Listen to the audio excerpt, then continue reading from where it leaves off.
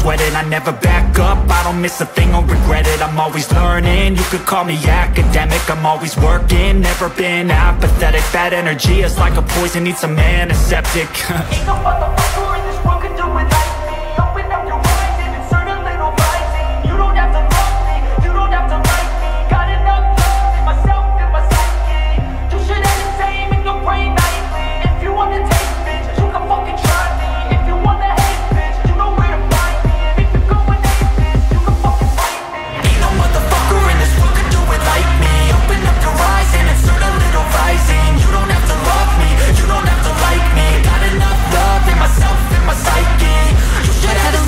minutos de las 10 de la mañana en toda la Argentina. Buen día y bienvenidos a esta nueva edición por el aire, día miércoles, con bastante nubosidad, elevado porcentaje de la humedad. Ya vamos a hablar en detalle de las cuestiones meteorológicas. Lo cierto es que es después de la completa mañana G que disfrutamos en el aire de la radio, seguimos por el aire hasta la hora 13 y junto a todo el equipo, ya equipo preparadísimo para arrancar. Luciano Baulde, ¿cómo le va Luchito en la producción? De leñador se vino, eh, mira camisani, leñador Baulde con nosotros.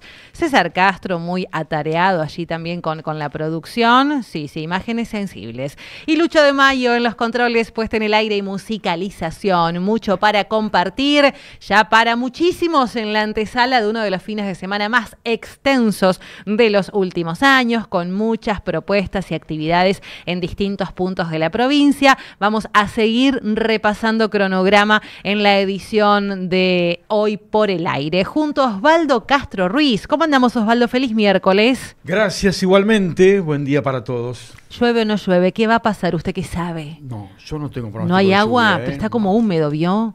Como pesado, como pegajosa la mañana. No tengo ese pronóstico de lluvia, ¿eh?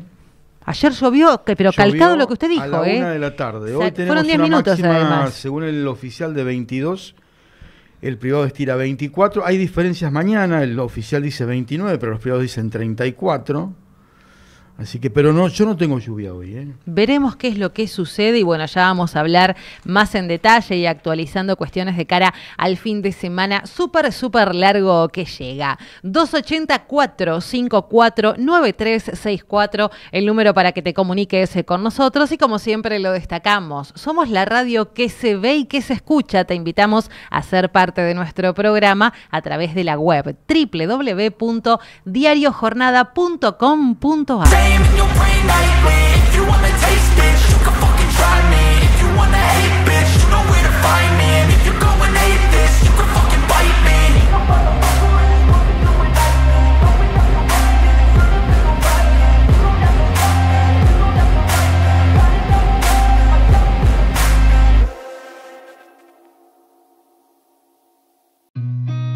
I've seen a lot of change, been through a lot of pain. Things are not the same as they were a year ago. But all will be okay. I move on each and every day. The past is where it stays, way back a year ago. I've changed for the better this time. I thought I would never be fine. I strive just to say I'm alright. And for the first time in a long time, I'm alright. I've seen a lot of change, been through a lot of pain. Some things are not the same as they were a year ago but all will be okay. I move on each and every day. Past is where it stays, way back a year ago.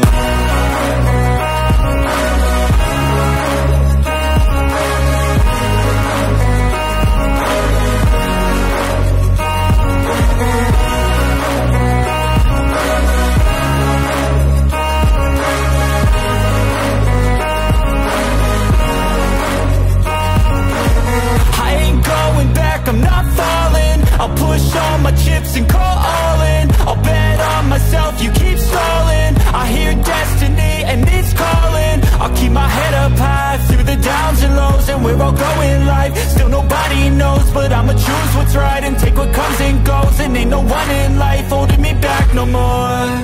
I've seen a lot of change, been through a lot of pain. Some things are not the same as they were a year ago. But all will be okay. I move on each and every day. The past is where it stays. Way back a year ago.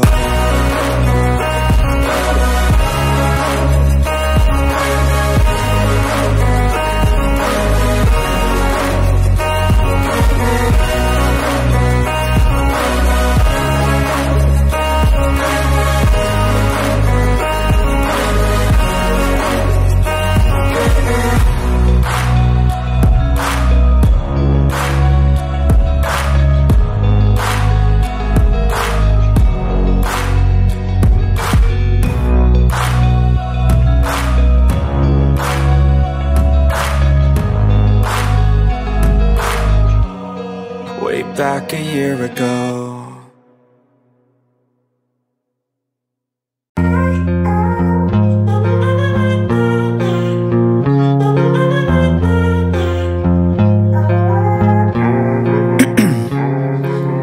Ice in my veins, I've been driving this train Years in this lane, there's no stopping this flame Cause I came to the game and I changed it to play How I like, rearranged it to my own domain. Yeah, I got what it takes, made lots of mistakes Taking shots, skipping breaks, feeling lost, feeling great Popping off, singing straight, never stopped, never changed. All the squad here to play and I've got something to say, yeah. I work hard each and every day. I get lost in the words I say. I don't push pause, no I push play I won't stop till I make a change. I withdraw on the things I make. I turn flaws into flawless traits.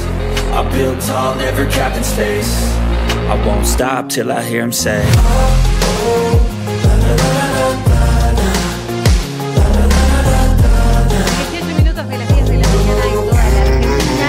A nuestra primera invitada, invitada especial aquí en vivo con nosotros en Cadena Tiempo, nuevamente porque ya hemos compartido alguna charla y en el día después de una jornada sin dudas histórica, un histórico discurso en la legislatura provincial. Camila Banfi rindió cuentas, hizo el repaso de lo actuado en este último tiempo y queremos ser parte un poco de ese balance institucional. Camila Banfi, bienvenida a Cadena Tiempo. ¿Cómo estás? ¿Cómo estás, Maru? Buen día. Bueno, muchas gracias por invitarme. Sé que siempre estás difundiendo todo lo que es de interés para el Poder Judicial, así que te agradezco. ¿Cuáles han sido los, los puntos salientes? Por supuesto, está toda la información en las redes y, y en diariojornada.com.ar, pero, pero en lo personal, los puntos salientes de lo que fue tu discurso histórico, primera vez una mujer haciendo uso de la palabra allí. Sí, bueno, cuando yo empecé a armar el discurso, a trabajar en el discurso, eh, hace varios meses, eh, tomé la decisión de no hacer un discurso formal, ¿no? Lo que hacen siempre o que ha hecho siempre el Poder Judicial, que es hablar de algo muy eh, estructurado. Entonces decidí hacer un discurso un poco más humanizante, ¿no? que es lo que es la línea que ha seguido mi, mi presidencia. Por un lado estaban las cuestiones de género, que son absolutamente importantes y creo que eso es lo que marca el inicio del discurso, o sea, la primera vez en 67 años que una mujer preside el Superior Tribunal de Justicia, el Tribunal Electoral y el Consejo de la y e integra el Consejo de la Magistratura. Así que eso fue, digamos, uno de los ejes potentes con respecto al trabajo y el trabajo que hacemos con la Oficina de la Mujer y Violencia de Género, porque depende esa oficina de la presidencia. Este año era la primera vez de la creación de la oficina que era, eh, digamos, si bien la directora, la doctora Mariana Ripa, tiene un trabajo importante en la oficina, pero esta vez las líneas de trabajo se realizaron con, con una mujer a cargo de la presidencia. Ese es uno de los ejes. Después, bueno, ustedes saben que yo he venido acá a hablar varias veces con respecto al tema del juicio por jurado. Otro de mis ejes importantes es resaltar la importancia de que en Chubut tengamos un código acusatorio puro y tengamos un sistema de juicios por jurado. El código tiene 18 años desde su entrada en vigencia y yo quería poner en valor esto, ¿no? Porque hoy, cuando yo voy a los foros eh, nacionales, incluso hace poco estuve en un congreso internacional hablando de justamente el sistema acusatorio, el juicio por jurado y la perspectiva de género, fue hace muy poquito en Mendoza. Eh, veía con, digamos, con, con profunda admiración lo que tiene Chubut y que hace 18 años que trabajamos con un sistema acusatorio, que tenemos una litigación en nuestros, eh, nuestros tribunales, que los fiscales se perfeccionan en esta litigación, los defensores. Y bueno, hoy hace ya eh, un año, fue en febrero, eh, la conclusión de 20 juicios por jurado, que eso es un eje, fue un eje muy importante en, en el discurso. ¿Van a empezar a ser más eh, continuos los juicios por jurados? ¿Tendremos más instancias? Sí, hoy de hecho las, las agendas eh, de juicios por jurado están bastante nutridas. Eh, es también parte del trabajo que yo empiezo ahora en el año 24 como presidenta de la sala penal. Eh, venimos monitoreando, la idea es trabajar sobre la logística de cómo, cómo lo hemos implementado. Nosotros empezamos con un juicio por jurado sin presupuesto y ahora ya para este año, el año 23 y el 24, tuvimos dos presupuestos aprobados, por eso también pensamos en la ingeniería de cómo ir eh, trabajando. Eh, y este año queríamos hacer algunos ajustes con respecto a la, implementación, porque también eh, abrir nuestras puertas para el jurado es, todo un desafío, ¿no? Asistir a los, a los 12, es, eh, si bien ocurren las jornadas en mucho menos tiempo, por ejemplo, un, juicio por jurado eh, en dos barra tres días, ha arribado un veredicto, han sido casi todos unánimes, no hemos tenido jurados estancados, así que para nosotros realmente es un logro enorme y tenemos que mejorar porque todo lo que uno va monitoreando va detectando, digamos, cuestiones que hay que trabajarlas. ¿Qué faltó, Camila? Acá para mí en el jurado tenemos dos temas. Uno que tiene que ver con eh, el, el viático que se le paga al jurado, que nosotros habíamos enviado un, un proyecto de ley a la legislatura que aún los legisladores no pudieron tratar. Eh, queríamos eh, trabajar en que el Tribunal Electoral Provincial no, lo, no depure los padrones, porque esto está generando una burocracia, esto también era parte del proyecto de ley que está en, tiene estado parlamentario, pero todavía no fue tratado. Así que lo que nos falta, nos faltó fue esto, ¿no? Pasar el padrón, la depuración del padrón a las oficinas judiciales que son más dinámicas y que son quienes en realidad están en contacto directo con los pretensos jurados. Eh, y un poco algo que debemos trabajar fuertemente es en la población en general, porque de nuestras encuestas tenemos, obviamente, que al principio la gente se vio cada vez menos, ¿no? Porque cada vez hay más juicios por jurado y se cuenta más. Al principio eran más reticentes, falta de información y ahora casi que lista de espera con Es- ganas de ser convocados, ¿no? Sí, exacto. Al principio nos, nos pasó que, bueno, la gente se empezó a enterar cuando era citada. Están los propios miedos de que las, digamos, de que te citen para ser un jurado popular en, un- en una causa criminal.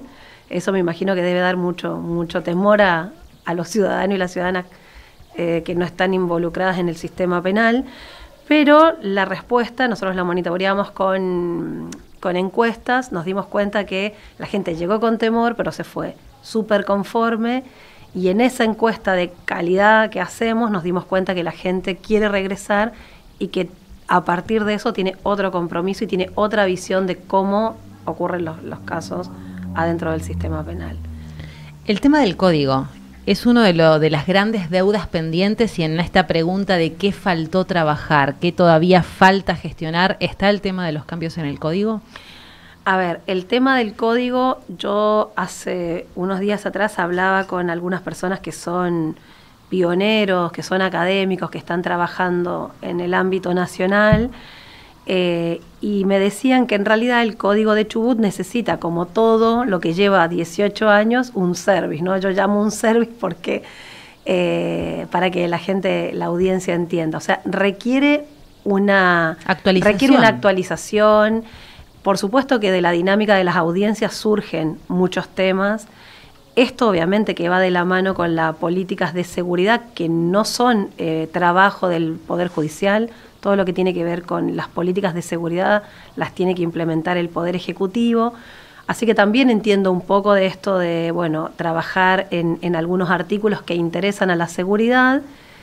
No es un tema nuevo porque el código este de, reforma de procesos rápidos, o sea, de, mm, eh, actualización del, del juicio rápido es algo que la Fiscalía lo viene planteando hace ya varios años.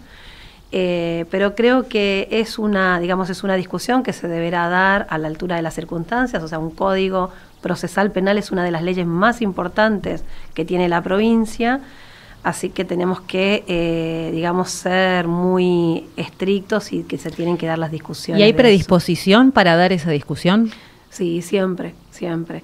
Yo creo que todos los operadores del sistema penal están predispuestos a esa discusión eh, porque es parte de, es parte esa discusión de eh, la mejor calidad del trabajo, porque pensá que esto es lo que rige, es como si habláramos de una obra de ingeniería donde tenemos que construir un edificio de varios pisos. El Código Procesal Penal es como la tubería que va a llevar a cada piso lo necesario para, para que pueda funcionar. Entonces, si esta estructura no funciona de la manera adecuada, el sistema se ve afectado, porque en un sistema tripartito cada uno tiene su, su posición y son, créeme, posiciones súper antagónicas. O sea, la posición del Ministerio Público Fiscal va a ser súper antagónica a la, a la antítesis de la defensa del caso. Y este juez, que es un juez de garantía, que es un tercero imparcial, que no investiga, no tiene que tener injerencias en la investigación, sino que tiene que velar por las garantías y los avances del proceso. A veces se confunde un poco este rol, yo lo entiendo porque nosotros tenemos en simultáneo varios códigos procesales, tenemos el nacional, que es de corte todavía mixto, inquisitivo, y en ese código el juez tiene un rol diferente al, a los jueces de garantía. Es un juez que investiga, que está atrás del caso, que dicta medidas. En nuestro código los jueces no tienen ese rol y eso lo tiene eh, el Ministerio Público Fiscal, que es, digamos, una carga importante porque tiene la carga de la prueba y de la investigación y es quien tiene que llevar adelante el caso. ¿no? Entonces, hay un interés del Ministerio Público de que toda su tarea pueda verse reflejada quizás en estos procesos rápidos o juicios rápidos. Estamos en vivo en la mañana por el aire en Cadena Tiempo con eh, Camila Banfi tras el histórico discurso del día de ayer en la legislatura provincial, repasando algunos de los puntos salientes de lo que fue su exposición. Bueno, yo voy a salir del discurso, ¿no? Eh, hablabas recién de los juicios eh, por jurado. Eh, aparecieron también estos con vocales legos que nos sorprendieron un poco, ¿no? Creo que no, no lo teníamos muy en cuenta, ¿no? Sí, a ver, yo eh, no quiero abrir opinión respecto de esto porque Mm. tengo que revisar esos casos ahora en el Superior Tribunal de. Justicia, pero la realidad es que el juicio de vocales legos está en la Constitución, es la Constitución de la provincia la que establece que cuando la causa tenga, digamos, sea sobre delitos de la administración pública, va a estar conformada por eh, un tribunal mixto que son jueces, eh, digamos, legos, dos vocales legos y tres jueces eh, profesionales. Eh, a mí la verdad que me hace ruido el tema de los vocales legos porque considero que si nosotros nos vamos a dar un juicio de, de jura- un, digamos un juicio por jurados popular, el vocal lego sería una injerencia eh, de jueces profesionales en esas decisiones. El tema es que como está en la Constitución, esto implica una enmienda y es un camino más difícil de transitar. Eh, yo este tema lo hablé con el vicepresidente, el vice Gobernador. gobernador, perdón, eh, el presidente de la legislatura. Le- per- perdón, doctora, Sí. que le interrumpa, ¿no? O sea, la, su opinión es que se haga una enmienda y que esto salga de la- del texto constitucional. Claro, no- que, que todo es todo sea eh, bajo la ley 15 número 30, que en realidad es la ley que establece que todos los juicios tienen que ser por jurados populares. Eh, porque obviamente es una herramienta absolutamente democrática y todas estas, eh, todos estos artículos que tiene la Constitución no van, digamos, en sintonía con esto. Por un lado está esto del, del juicio, eh, mi- o sea, del- de los, de los juicios mixtos y también tiene un artículo que nosotros consideramos que es una rémora, que es un, digamos, algo que, que hace que nosotros tengamos que tener injerencia en los casos, que es eh, el- la revisión de, de las causas solamente por, por la pena. O sea, es una revisión oficiosa que hace el superior sin que la soliciten las partes. Entonces, esos dos institutos de alguna manera están eh, chocando Sí, con sí, la la- ley la 15, entiendo. número 30. ¿Y, y qué le dijo Mena? ¿Está de acuerdo en impulsar una enmienda sobre ese tema? Sí, tomó, tomó con mucha seriedad el planteo, lo que pasa que obviamente eh, eh, cuando asumió este gobierno tenía varias, ten- tenía varios, eh, varias líneas de trabajo que tienen que ver con modificar algunos artículos de la Constitución y creo que se pueden hacer, creo que se puede hacer una enmienda cada dos años. Entonces eh, Claro, dijimos, bueno, vamos a esperar. Después vimos con buenos ojos que eh, cuando apareció todo lo que tenía que ver con el juicio por jurado en la ley Omnibus, eh, hay una, la ley que, es- que está impulsando la nación para todo el país, no tenía, no tiene el jurado escabinado, entonces vimos una posibilidad en esa ley nacional, porque a nosotros para poder estar a la par de esa ley nacional teníamos que reformular solo tres artículos y eso de alguna manera mejoraba nuestra dinámica de jurados. Pero bueno, después eso, ustedes ya conocen públicamente Claro. lo que pasó. Pero creo que es algo para trabajar. Hoy estamos bastante bien con la normativa que tenemos. La ley 15 número 30 es una ley de avanzada. Tenemos que ir monitoreándola, por ejemplo, en este que es un año de emergencia económica, porque el jurado popular eh, tiene su logística, pero a la larga nosotros consideramos que va a ser menos eh, oneroso que estos juicios que tenemos con tres jueces profesionales y que tenemos que estar nueve o diez días produciendo la prueba, porque la ciudadanía viene, se sienta, mira los hechos Y juzga. y juzga. Y hasta Mm. ahora tenemos, de 22, tenemos 20 eh, juicios declarados culpables, eh, por unanimidad. Y no hemos tenido tampoco jurados estancados. Y sí monitoreamos algunas situaciones que tienen que ver con violencia de género y delitos contra la integridad sexual, que ahí estamos en una discusión doctrinaria y jurisprudencial con respecto a esto de las capacitaciones con perspectiva de género, eh, los delitos contra la integridad sexual, que bueno, son delitos que se tienen que, digamos, se tiene que merituar la prueba de una forma diferente, ¿no?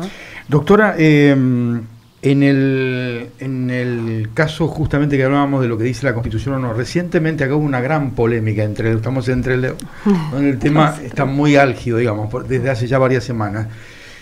Eh, se intentaba que los jueces estuvieran reunidos directamente cara a cara con los vecinos y un grupo de jueces dijo que la Constitución se lo impedía. Ex- ¿Existe eso? Y decíamos, un juez no se puede reunir con, no puede darle, la- no puede dar respuestas ante los vecinos porque la Constitución se lo impide. Yo creo que no, no, o sea, no, no, no funciona de esta manera. Yo creo que los, los eh, jueces, los fiscales, los defensores, los operadores del sistema siempre tenemos que estar de cara a la ciudadanía, porque en definitiva nuestro trabajo impacta en, en esa, en esa situación, o sea, en los justiciables. Pero sí acá ocurre algo que tiene que ver con otra situación, y es que el juez de garantías no investiga. Entonces, si el juez va al barrio y toma conocimiento de primera persona de delitos, después no va a poder intervenir en ese caso porque tiene que ver con la imparcialidad del juez. Entonces, no es que ellos no puedan constituirse en reuniones relacionadas con la seguridad, pero sí hay que comprender que el andamiaje que tiene nuestro código dice que el juez tiene que ser totalmente imparcial, porque en realidad el juicio penal es como un ring donde van a haber dos partes, que va a ser el defensor y el fiscal. Toda esta tarea, que es una tarea preciosa y para mí es realmente el rol que más trabaja en este sistema, que yo creo que le pido disculpas a los jueces porque sé que los jueces trabajan mucho, pero yo fui fiscal 14 años y los fiscales tienen un, digamos, un poder en, en este Código Procesal Penal que es un poder enorme, porque es el, el poder de la investigación, el poder de ir al barrio, sentarse con la gente, entrevistar a los testigos, entrevistar a los vecinos, tomar conocimiento de primera mano de los casos. En cambio, el juez le está vedado esto porque el juez tiene que tener la imparcialidad. Entonces, si él se sienta con un vecino que ha sido víctima de un caso, ya no es imparcial, porque la- el Código Procesal Penal dice que el juez en el tribunal tiene que recibir a las dos partes. O sea, no podría eh, reunirse con una parte en- en- en- por separado de lo que es el caso. Quiero poner un ejemplo porque me parece que es interesante aclarar esta cuestión, porque me parece que esto aún no se ha aclarado.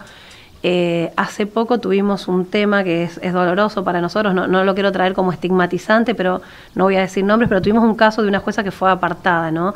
Porque tomó una posición de ir a entrevistarse a solas Sí. con una de las partes. Este caso es paradigmático y doloroso para nosotros, no es que no, no nos importa, que es un dato menor, pero este es el ejemplo. O sea, el juez no puede tener ni contacto a solas con el imputado, ni contacto a solas con la víctima, porque tiene que garantizar esa imparcialidad. Eh, y no, pero, es- pero, pero, pero en ese caso fue después que él ya había fallado. no, estaba en un proceso todavía recursivo. Ah, porque no estaba firme la No, sentencia. claro, tenía que hacer lugar a, la- a- a los recursos. Entonces, esto es re importante. O sea, los jueces le enviaron una carta al, al intendente, que también destaco el trabajo de- del intendente, que está muy preocupado por lo que le pasa a la ciudadanía. Y como no, si es que en toma de primera mano también estos reclamos. eh, y le, le- le explicaron cómo es el rol que tienen los jueces. Ahora, yo sé también que se abre juicio eh, público, mediático, todos los días respecto de la labor de los jueces. Hoy a la mañana yo di otra entrevista sobre por qué los jueces no trabajan en un horario corrido, eh, por qué el Poder Judicial trabaja de 7 a 13.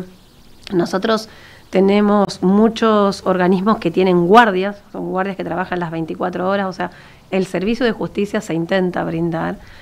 Y sabemos, porque yo soy operadora del sistema hace muchos años, que hay mucha gente que está muy comprometida y hay gente que no está comprometida como en todos los lugares de trabajo en los que uno podría ir y, y analizar, ¿no? Pero creo que esto es, esto es, yo siempre digo, es algo para que los judiciales hagamos una crítica entre nosotros y resolvamos el problema, porque nos tenemos que dar una solución adentro del Poder Judicial, pero si seguimos discutiendo quién tiene la culpa, nunca vamos a ir a resolverle a los justiciables. Y el sistema penal tiene estos roles, tiene roles muy establecidos. Ahora, eh, a ustedes les toca la parte final, ¿no? Ya cuando son la. El, y, y- y en esos tiempos, eh, eh, por ahí también parecen como, como demasiados largos, digamos, ¿no? ¿Cuántas sentencias? O sea, ¿cómo se, cómo se mide ese trabajo de ustedes, no? Sí, bueno, esto Sí. eh, acá voy a ser súper autorreferente y me voy a, me voy a, me voy a felicitar, voy a felicitar al, al sistema penal de Chubut, porque al tener un sistema acusatorio, que es por ejemplo hoy lo que está buscando Cunio Libarona en toda el- en, en ciudades donde digamos tienen problemas con el narcotráfico. Sí, Rosario. Rosario ejemplo, sí. puntualmente, eh, los procesos penales en Chubut no pueden durar más de tres años. Nosotros tenemos que tener lo que llamamos el doble conforme, o sea, la sentencia de grado más la Cámara en tres años, porque si no, esa causa eh, se absuelve o se sobresee por el transcurso del plazo. ¿no? Si, el, si el plazo transcurrió más de tres años, es un, eh, digamos, opera de pleno derecho para el imputado. Y no es un dato menor, porque nosotros obviamente no podemos tener ninguna causa que dure años y años. Pueden haber en el sistema causas que lleven muchos años de autores ignorados, donde no se pudo llevar a, a- a una audiencia al imputado, eso está en, en el, digamos, eh, eh, dentro de la, de la investigación, pero no en aquellos casos judicializados. Y después el Superior Tribunal hace muchas audiencias. Yo creo que nosotros hacemos incluso más audiencias que las cámaras, bien lo digo, porque en realidad arriba llega todo lo de todas las cámaras penales de toda la provincia. Así que tenemos uno barra dos días de audiencia todas las semanas, donde eh, hacemos las audiencias con recursos y las consultas, que son todos aquellos casos de penas altas que van directamente al superior para revisar por, por las condenas. El proceso de digitalización de documentos y demás es uno de los logros de, de estos años de trabajo, Camila, y que da celeridad a la hora de llegar justamente con respuestas. Sí, bueno, esto es un valor que tiene el, el- el Poder Judicial hace muchos años. Eh, nosotros tenemos ahí una Secretaría de Informática que, como los informáticos son como un mundo aparte, ¿no? Son informáticos del Poder Judicial y son gente que hace una tarea enorme, pero quizás no visibilizada. Eh, vienen trabajando fuertemente en esto del expediente digital. Tenemos muchas acordadas hace bastantes, varios años, eh, donde se trabaja eh, para el cero papel, o sea que podamos tener todo digital. Esto es muy bueno, da celeridad en los tiempos que corren, digamos, es una herramienta excelente, pero también implica un alto costo para, para nuestro presupuesto, porque obviamente todo lo que tiene que ver con informática son insumos en dólares eh, y eh, cada, digamos, cada, cada uno de estos elementos que hay que, que hay que abastecer al Poder Judicial a veces eh, demora en realizarse las licitaciones, en un contexto económico cambiante, pero siempre se apuesta a, que podamos eh, ir por arriba de la media, ¿no? Eh, tenemos al, al magíster Alejandro Viallo, que está a cargo de esa área. Yo ayer en el discurso dije que era presidente, pero en realidad es el director del Instituto de Tecnología y Justicia. Eh, trabaja hace muchos años muy comprometido con la Junta Federal de Cortes. Así que nosotros tenemos muchos eh, desarrollos propios que han sido compartidos al resto del país. Y así como potenciar el acusatorio, que es algo bueno, también quise potenciar esto porque me parece que es un, un fuerte que tiene, que tiene eh, Chubut en, la digitalización, ¿no? En no tener expedientes y coser expedientes, que es algo que realmente demora.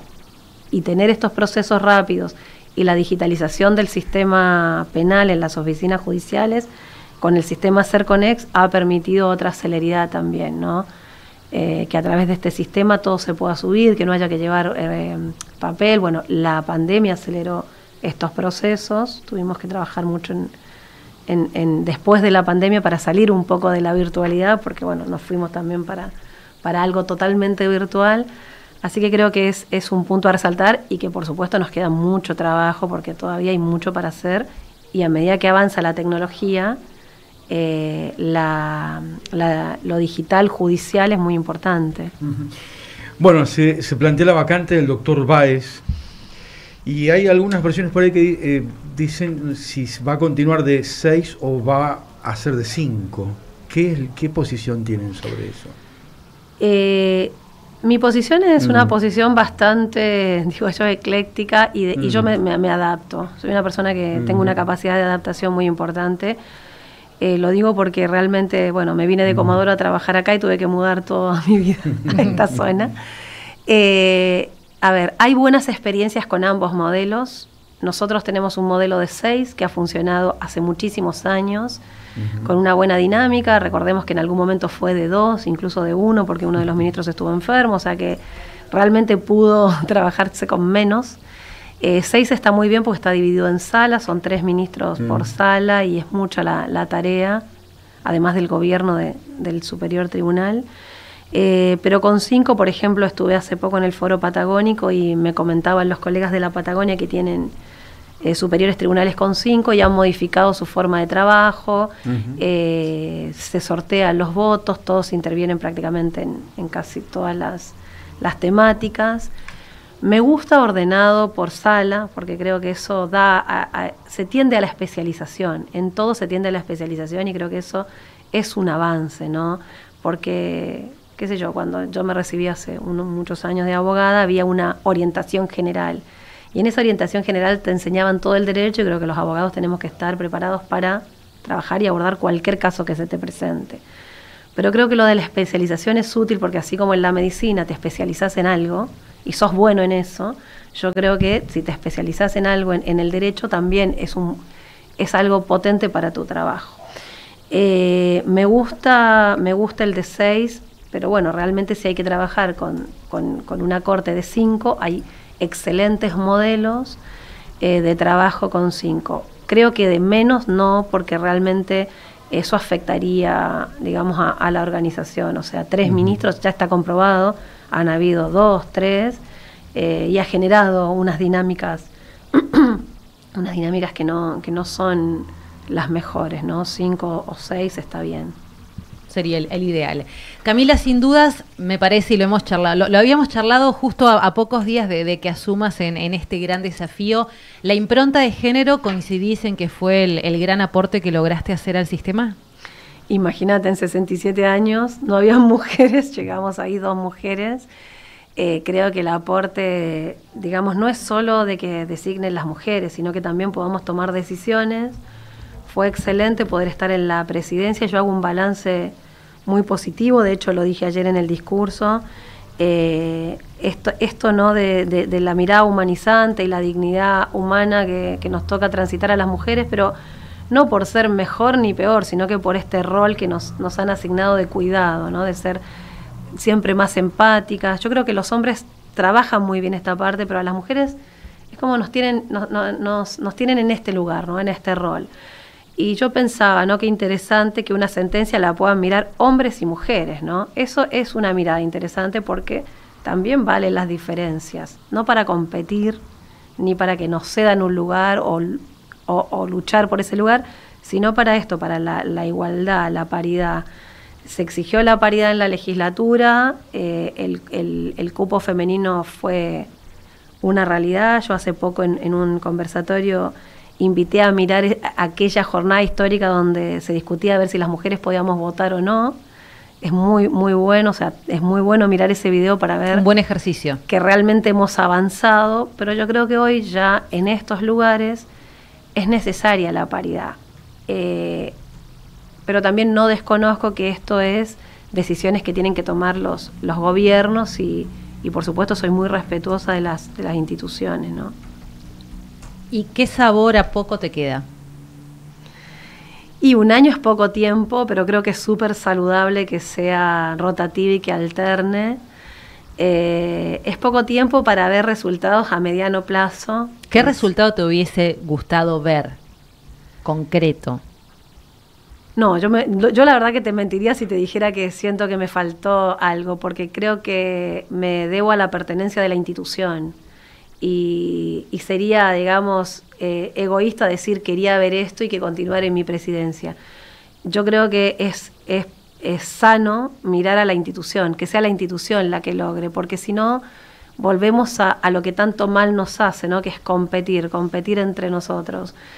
Y el Superior Tribunal de Justicia es un lugar muy competitivo, es altamente competitivo y de hecho está bien que sea así, pero que no dañe, ¿no? Lo importante es que, es que uno pueda sentir que hice esto y es sano hoy eh, entregarlo en la continuidad de lo que establece la Constitución, ¿no? Que tiene que rotar, que tiene que rotar por salas. Me da alegría dejarle la presidencia a otra mujer, porque creo que, bueno, eso implica un cambio de paradigma, pero también creo que todavía tenemos mucho trabajo para, para, para hacer eh, en los, en, no, a ver, no solo en el superior, sino en mujeres en lugares de decisión. No tuvimos hasta ahora eh, gobernadoras. Por ejemplo. Eh, nos tenemos que, tenemos que pensar en, en, bueno, en, en- en que hace falta también que en otros lugares, donde, a ver, en el mismo Poder Judicial o en otros lugares del Estado, haya más mujeres. que Yo, yo me alegro cada día cuando veo la- las páginas de los diarios y dicen, por primera vez una mujer, no sé, veo ejemplos, ¿no?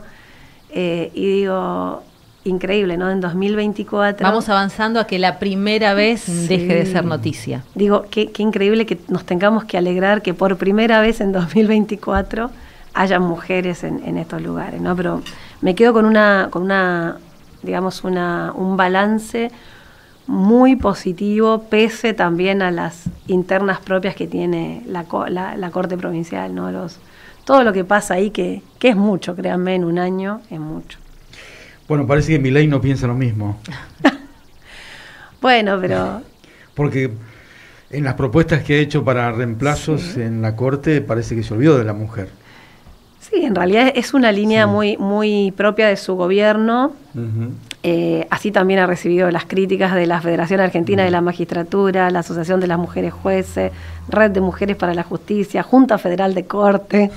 Entonces, bueno, si esto no te interpela, es, es realmente que es una, una línea de trabajo en la que no, no desea cumplir con la manda constitucional, que es en realidad lo que nos ha hecho llegar hasta acá.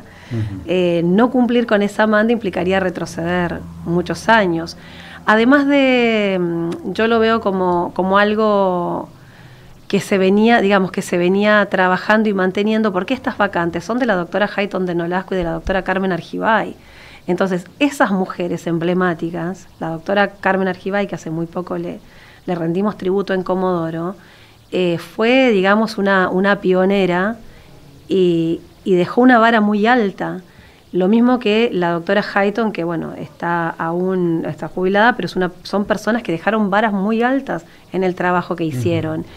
Y yo creo que esto es un poco egoísta, la, la- la actitud del, del gobierno nacional, porque nos priva a los ciudadanos y a las ciudadanas de tener otra Carmen Argibay. Entonces creo que esto es, es una discusión mucho más profunda que la pelea retórica de si son los hombres, las mujeres. Los conozco a ambos, varones, creo que tienen unos currículum impecables. De hecho, al doctor Lijo lo conocí hace muchísimos años en la Facultad de Derecho cuando yo era alumna. Eh, no se discute acerca de su calidad profesional ni, ni los, digamos, los, los avales que algún- tienen. Algunos sí, porque no están muy de acuerdo tampoco con esa nominación, pero, Bueno, pero pero- fuera de eso, no, el tema de que no se haya colocado una, una mujer, creo que Sí. habiendo, habiendo candidatas para... Hay ¿no? muchísimas mujeres a lo largo y ancho de Argentina. De hecho, hace poco estuvo acá la doctora Susana Medina, que eh, es una persona que ha representado a las mujeres en el Poder Judicial de una manera impresionante, incluso eh, en, en estrados internacionales. Eh, hay juezas excelentes en, en todo el país. Entonces digo, bueno, la verdad que no es que falten mujeres, eso, eso no. Que alguien me diga que no hay mujeres para integrar la corte, se lo discuto a muerte. La, la última, porque ya nos este- tenemos que cerrar la nota, pero en un momento, doctor, usted fue muy enfática con, la, con una jueza que obviamente no, no, no estuvo a la altura de las circunstancias, ¿no? Ya que estamos entre el Leu, acá también hay toda una polémica con un defensor público, ¿no? Sí, eh, la verdad ¿Ustedes que pueden tomar medidas o no tomar yo medidas? integré el Digo, Consejo de sí. la Magistratura cuando se Mm. trató el caso del, del doctor. Eh, bueno, no quisiera hablar sobre cuestiones que son súper privadas de la vida y Mm. la salud de las personas. El Poder Judicial, el Consejo de la Magistratura y la Defensoría Pública ha, ha hecho, ha hecho mucho en estos temas. Eh, yo creo que a veces es muy fácil abrir juicio y crítica sobre las personas, pero hay que mirar más allá. Esto no, no tiene que ver con una dispensa, ni mucho menos, pero a veces cuando nosotros tenemos problemas claros que son de salud, tenemos que abordarlos como problemas de salud.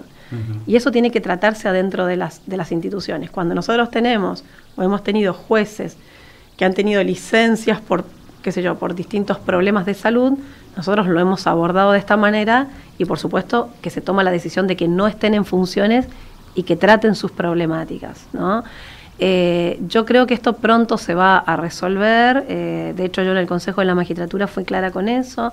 Dije que la Defensoría General, o sea, el Ministerio de la Defensa Pública tiene que trabajar en este aspecto, eh, porque hasta llegar al estadio público, digamos, de un control de detención, al Consejo de la Magistratura, hay toda una serie de instancias en las que se puede trabajar en, en las oficinas de bienestar laboral, de violencia laboral, de bueno, todo esto que nos pasa a las personas, ¿no? Ninguno de nosotros está ajeno a poder a, pasar por algún problema de, de este tipo, ¿no? Pero, pero se debe trabajar y sí, mm, me, me voy a animar a decir esto, creo que aquellas personas que están con estas situaciones no pueden de ninguna manera estar en contacto con lo justiciable, porque justamente nosotros necesitamos estar perfectos, íntegros, eh, de la mejor manera posible, un poco estresados y cansados, pero Como todos. venir todos los días a... A ver, una vez hace muchos años alguien me dijo algo que me parece súper importante. Los judiciales no tienen que ser héroes, no necesitamos héroes, necesitamos gente que venga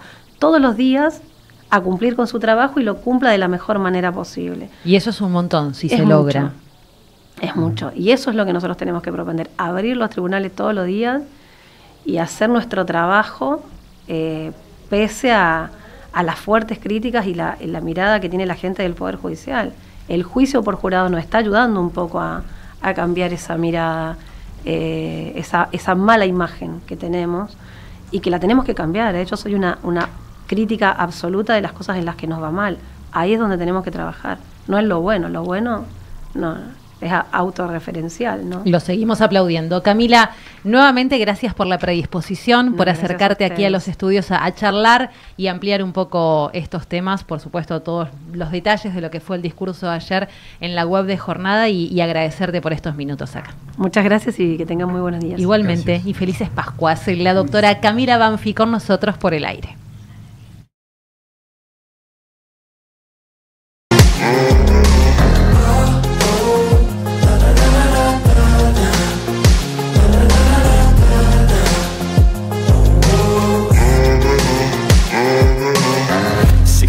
Up again. I got tired eyes, need a cup of blend. That's right, in the AM that's my only friend. No light, just the sun coming up on the horizon. I lose track of time, yeah, I move fast and climb. A new class divine, yeah, true passion shines. And I'm through passing time, I choose stacking dimes. You snooze half the time while I move passing by uh. I work hard each and every day. I get lost in the words I say. I don't push pause, no I push play. I won't stop till I make a change. I withdraw on the things I make. I turn flaws into flawless traits. I build tall, never capped in space. I won't stop till I hear him say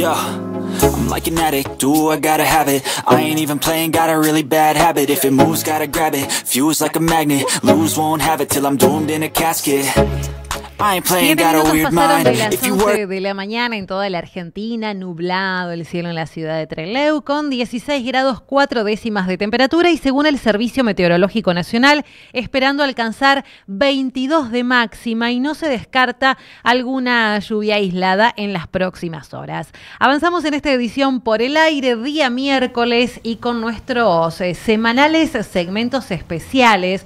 Hoy nos visitan desde la Asociación Vecinal del Barrio Los Aromos para conocer un poco la realidad del sector, cómo se está trabajando tras lo que han logrado ser después de mucho tiempo las elecciones en las vecinales de Treleu. Barrio Los Aromos presente en Cadena Tiempo. Rubén Lencina, ¿cómo le va?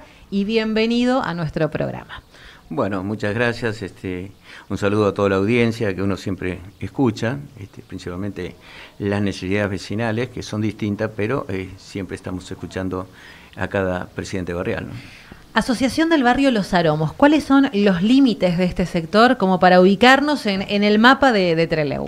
Bueno, nosotros tenemos eh, de un lado la ruta Presidente Perón, eh, Fuerte San José del otro lado, y Los Paraísos, donde termina, y del otro lado, este, eh, agregados también las 19 viviendas de, de comercio, de comercio en su momento, y bueno, ahora en otro, otro barrio más y se sigue agrandando el barrio, ¿no? Así que para el lado de eh, Primera Junta. Cada barrio tiene su particularidad, pero me parece que hay como un denominador común a los reclamos, eh, cuestiones de seguridad, estado de las calles, proliferación de mini basurales. ¿Cuál es un poco la, la realidad que viven ustedes? Sí, este, hemos tenido un buen contacto con, con Leandro Quiroga, que es el coordinador, eh, y realmente este, se está trabajando en los distintos barrios de la ciudad. No nos olvidemos que son 40, y- 42, 44 barrios en total, y es muy difícil llegar este, rápidamente a todos. Entonces hay un cronograma de trabajo que hay que respetar. Nosotros estamos ahora están trabajando en Barrio Oeste, después van de vuelta a la zona del Barrio Sur y después nos tocaría Los Aromos, donde eh, vienen con todo el equipo, con, con lo que es este camiones, eh, palas, este, para cortar el césped, las distintas máquinas que tienen y bueno, tratar de, de limpiar nuevamente el barrio, eh, que es muy difícil a veces mantenerlo limpio, ¿no? ¿El vecino colabora, Rubén?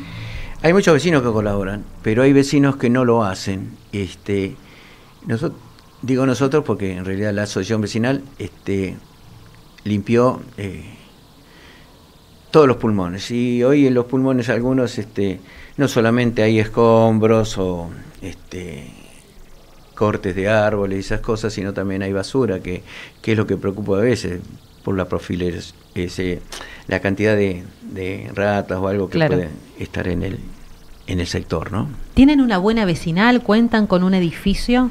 Nosotros tenemos edificios chicos. Hablaba la otra vez con el intendente la posibilidad, y con Leandro este, Quiroga, la posibilidad de este, agrandar eh, el salón que tenemos porque en realidad es, es bastante chico.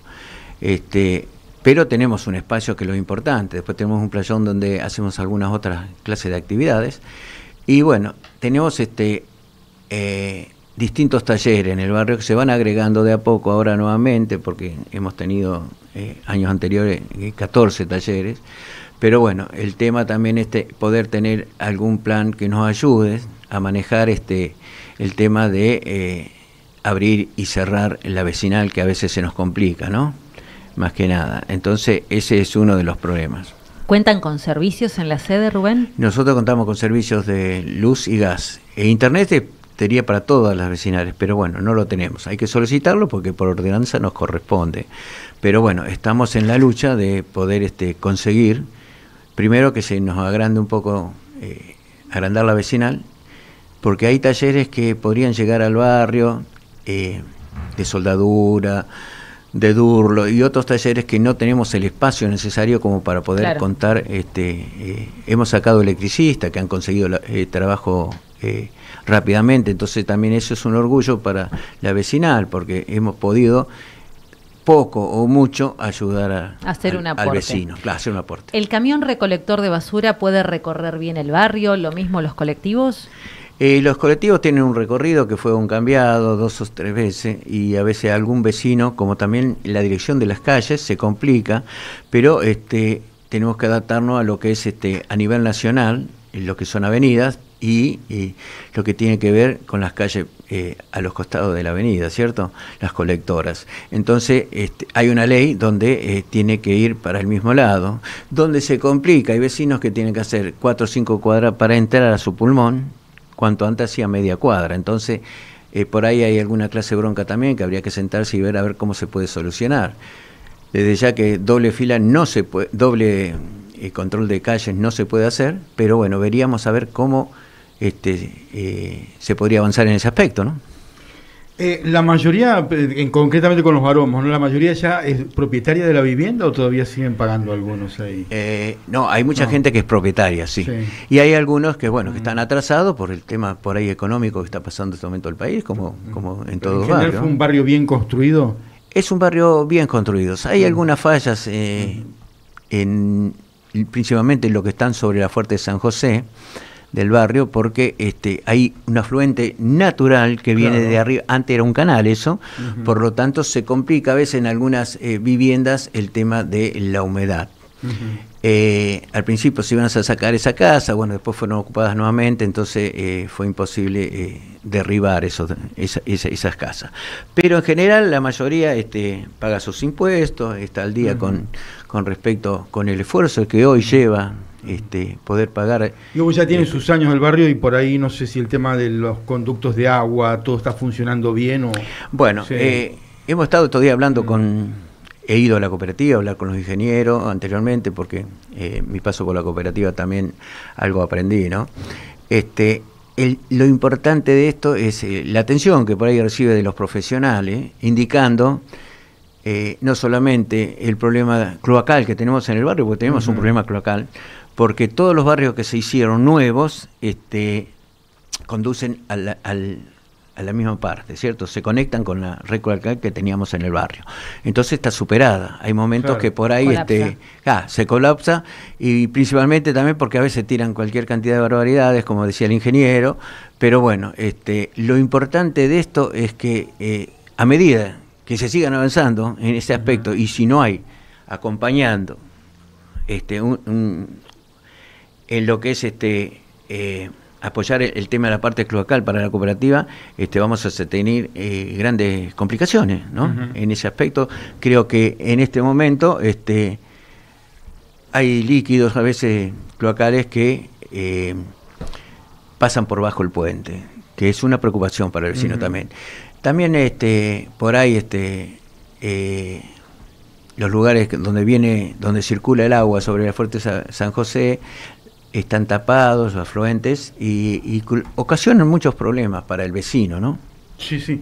Yo lo, yo lo he visto. Eh, Lo debajo del puente a veces es Sí, sí, bastante es terrible. Sí, sí, es bastante. Sí, desagradable. sí, muy desagradable. Eh, ustedes obviamente enfrente tienen al barrio Constitución, ¿no? Digo, y hay sectores bastante co- complicados, digo, en los en cuanto a la seguridad, lo que eso suele trasladarse también al, al barrio Los Aromos.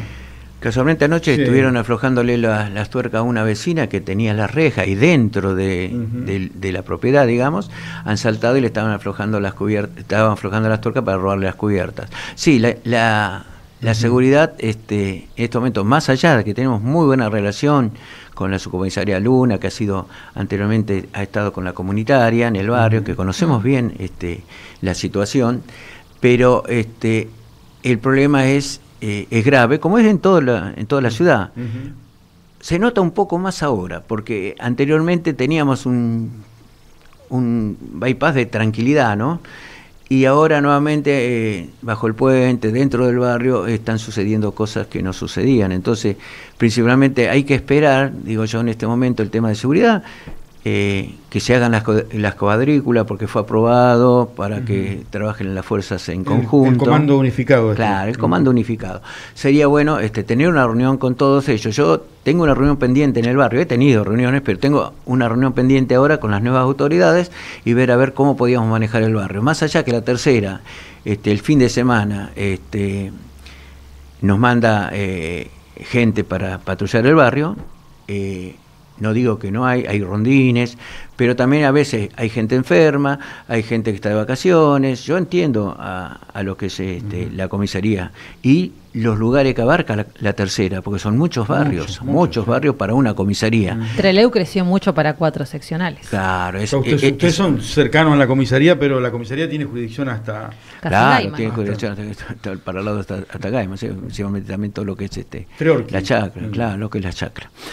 Eh, eso preocupa, pero más allá de la buena predisposición de la policía, este, a veces se ven este, imposibilitados en hacer algunas cosas porque falta combustible, falta vehículos, falta, eh, falta personal, eso es entendible, pero bueno, el vecino entiende de que a veces este, quedamos medio Relegados. relegados y medio alejados de, de que nos cuiden un poco, ¿no?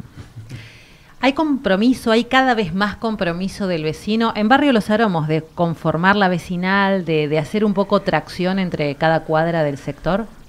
Sí, estamos organizando ahora un delegado por, por manzana, por sector, El manzanero. el manzanero, claro que nos figura que ya funciona en otros barrios. Sí, funciona en algunos barrios, sí. Este, ahora falta un poquito más el compromiso del vecino de decir, bueno, vamos a trabajar. Por ahí trabajamos este, eh, con vecino autoconvocado, con la señora Juárez, este, que tenemos muy buena relación también, y hemos trabajado en conjunto en muchas actividades. Pero a, la hora de decir, bueno, che, vamos a trabajar por el barrio, son muy pocos. Decía que hay muchas personas grandes, como te- eh, decía anteriormente, de que por ahí este, eh, hay problemas de salud, hay, hay muchos problemas que, que impiden, chico por ahí que, que tiene que hacer eh, su trabajo y, y sus cosas, que impiden este, dedicarle un tiempo a la vecinal, que a veces es muy difícil y no es tan fácil. ¿eh? ¿Cuál es el pedido que se le hace al vecino, Rubén?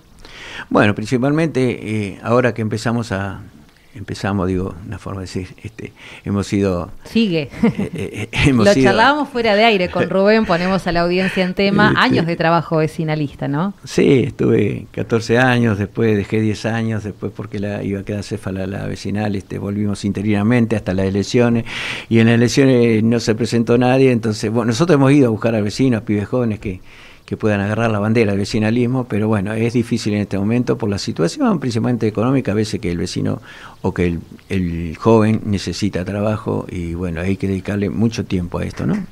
¿Es un barrio con mayoría de, de personas mayores, Rubén? Es un barrio que fue entregado hace bastante tiempo y no hay un recambio eh, de la juventud. Digamos que nosotros los, los mayorcitos estamos en el barrio y los hijos eh, han salido para otros lados y realmente este, hay muy poca juventud eh, que quiera hacerse cargo de algo como una vecinal o estar comprometido en el barrio. Por ahí el vecino se compromete en la limpieza, otros no tanto así, pero bueno, tratamos de, de pelearla y de que, bueno, ayer en este momento pasa los martes, jueves y sábados, eh, entre las 6 y las 8 de la mañana, y muchos vecinos este, colaboran con los horarios, colaboran con que los, porros, eh, los perros no rompan las bolsas y todo eso que es bueno. Pero principalmente este, hay, hay una alerta hoy en el vecino por el tema de seguridad y por el tema de necesidad.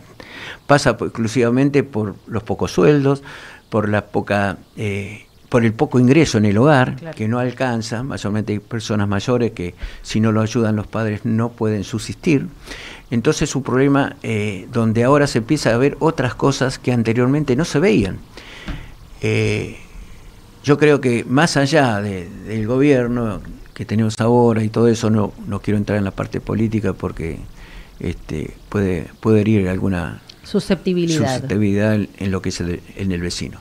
Pero sí, se ve este, mucho más preocupación, mucha más necesidad, principalmente aquellos que, tienen chicos y que- o que tienen muchos o que son personas que, que tienen problemas de salud, eh, de que no están bien atendidos. ¿Y desde la vecinal se pueden gestionar ayudas a esas Sí, personas? nosotros hemos, hemos tratado eh, el año pasado llevar ANSES y hacer algunas otras cosas principales para poder ayudar al vecino.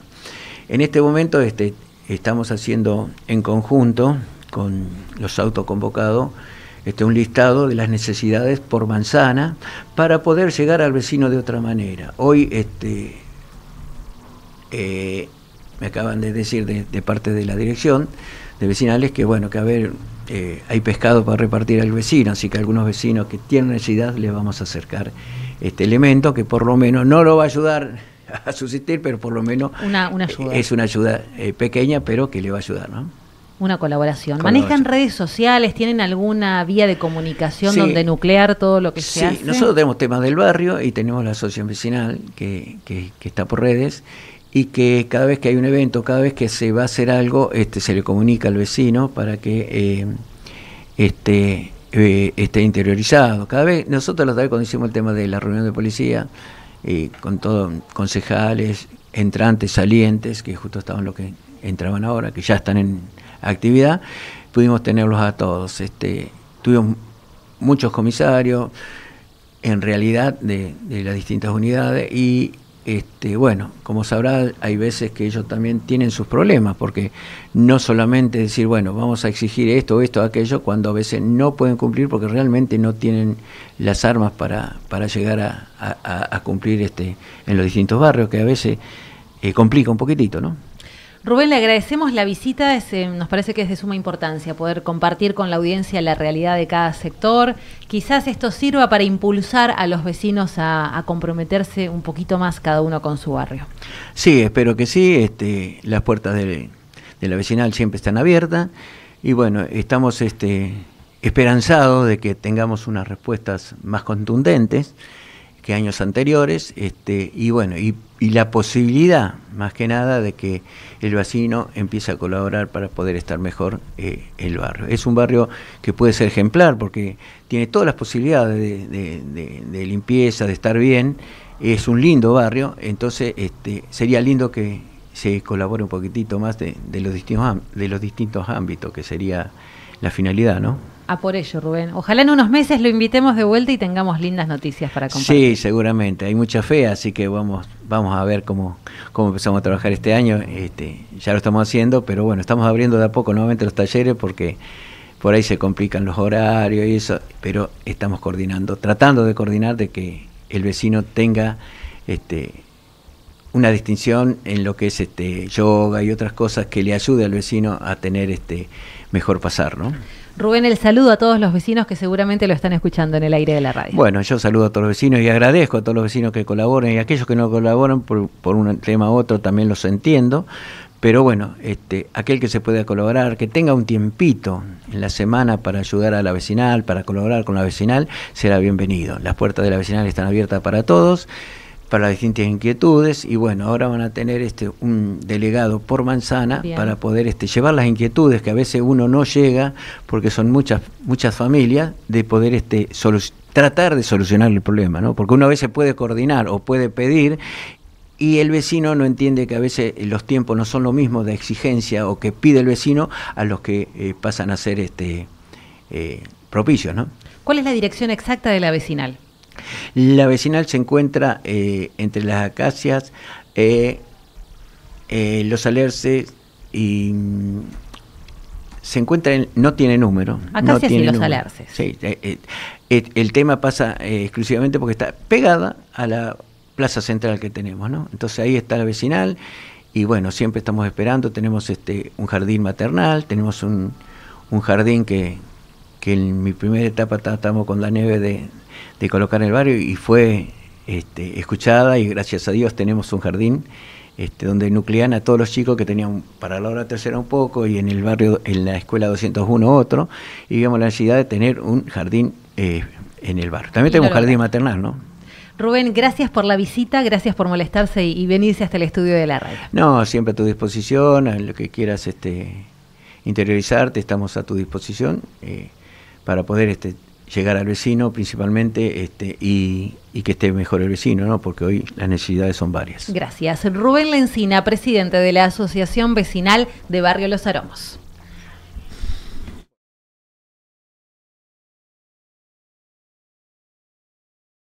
Eight hours, I'ma work nine. If the shit tastes sour, you should taste mine. I'ma stay in power for a long time. Get up, nah, I ain't a quitter. Toss me the ball, I'm a really big hitter.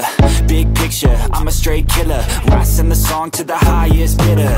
Got juice, got gas, I'ma move fast. New shoes, new tracks, like who's that? I'm new, come back better than last. Yeah, it's a new me, never gonna look back.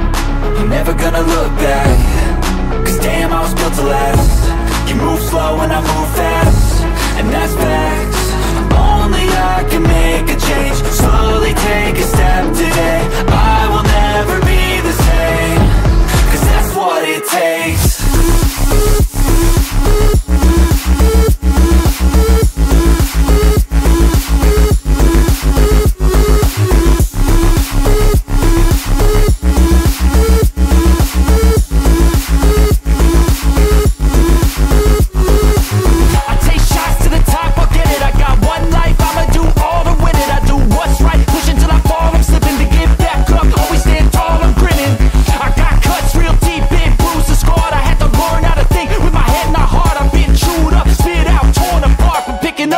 pieces is a form of art.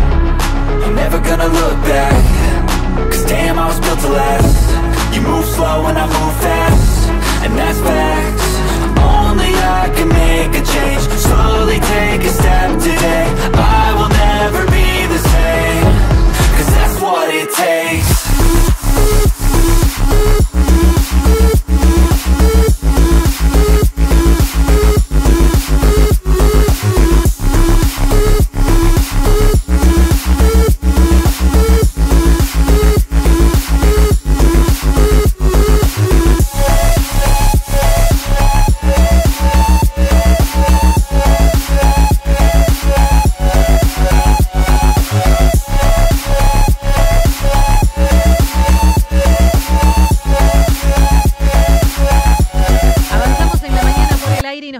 capital provincial. Una nutrida movilización tras lo sucedido en la escuela número 752. Natalia Ferrari, ¿cómo estás, Nati? Bienvenida al programa. Gracias, Maru. Muy buenos días. Así es, tal como estaba previsto, grupos de madres, padres, algunos estudiantes también, no solo de la Escuela 752, sino también de otros establecimientos, se concentraron frente a la plaza, primero aquí central de Rawson, luego se dirigieron hacia la municipalidad, donde pidieron hablar con el intendente. Él se encuentra aquí en la ciudad, pero eh, hay un compromiso de parte de la secretaria de gobierno que salió a recibirlos, junto con también la secretaria de Desarrollo Humano y Familia. Mañana a las 9 de la mañana los va a estar esperando el intendente Damián Bis, a los padres, a los familiares de este pequeño víctima eh, y también se puso a disposición el equipo de atención familiar, de eh, ayuda a la familia para avanzar con lo que sea necesario. Ahora se trasladó el grupo de personas hasta el Ministerio de Educación, donde están solicitando que salga el ministro Punta a recibirlos. Ingresó una pequeña comitiva, dejaron entrar a dos, tres personas para que eh, le transmitan que salga el, eh, el ministro de Educación para que les dé respuestas concretas. Ellos quieren saber eh, qué va a pasar con los agresores, qué va a pasar con la escuela. Ellos están denunciando que eh, hay muchos casos de bullying, que no se ha hecho nada en la escuela, que hay chicos que han recibido también agresiones, no de ese tipo, pero sí física. Bueno, están pidiendo que se tomen cartas en el asunto para que esto primero no vuelva a ocurrir y segundo que se preste atención a las distintas denuncias que dicen se tapan en las escuelas. Así que bueno, ahora estamos esperando a ver qué va a pasar con la respuesta por parte del ministerio. Eh, a- ayer, por ejemplo, eh, lo que decían, tuvieron que ir eh, la abuela con el nieto a la escuela para ser atendidos por el equipo pedagógico de la escuela. No han tenido muchas respuestas tampoco en el cómo seguir. ¿Y qué va a pasar ahora la semana que viene? Ese chiquito tiene que volver a la escuela y denunciaban incluso que ayer uno de los perpetradores, el que estaba filmando este video, estaba ayer en la escuela. Sí, bueno, una situación difícil la que se está atravesando y ver qué va a pasar ahora cuando la semana que viene se tengan que reincorporar a las clases. Nati, eh, esto que, que decías recién, ¿no? De que hubo muchos reclamos y, y hasta denuncias, inclusive por casos de bullying y la escuela no, no dio respuesta. no dieron respuesta, eso es lo que están reclamando, que la escuela en ningún momento dio respuestas y tapó todo. Incluso en este caso, lo que decían, si no se hubiera difundido de la manera que se difundió, también lo hubieran tapado. Bueno, Nati, uno de los casos lamentablemente más resonantes de, de las últimas horas eh, y seguiremos muy de cerca las respuestas que lleguen, eh, algún detalle de este encuentro con el ministro de la cartera de Educación, así que cualquier novedad, aquí te esperamos. Hasta luego. Hasta luego, Natalia Ferrari desde la capital provincial.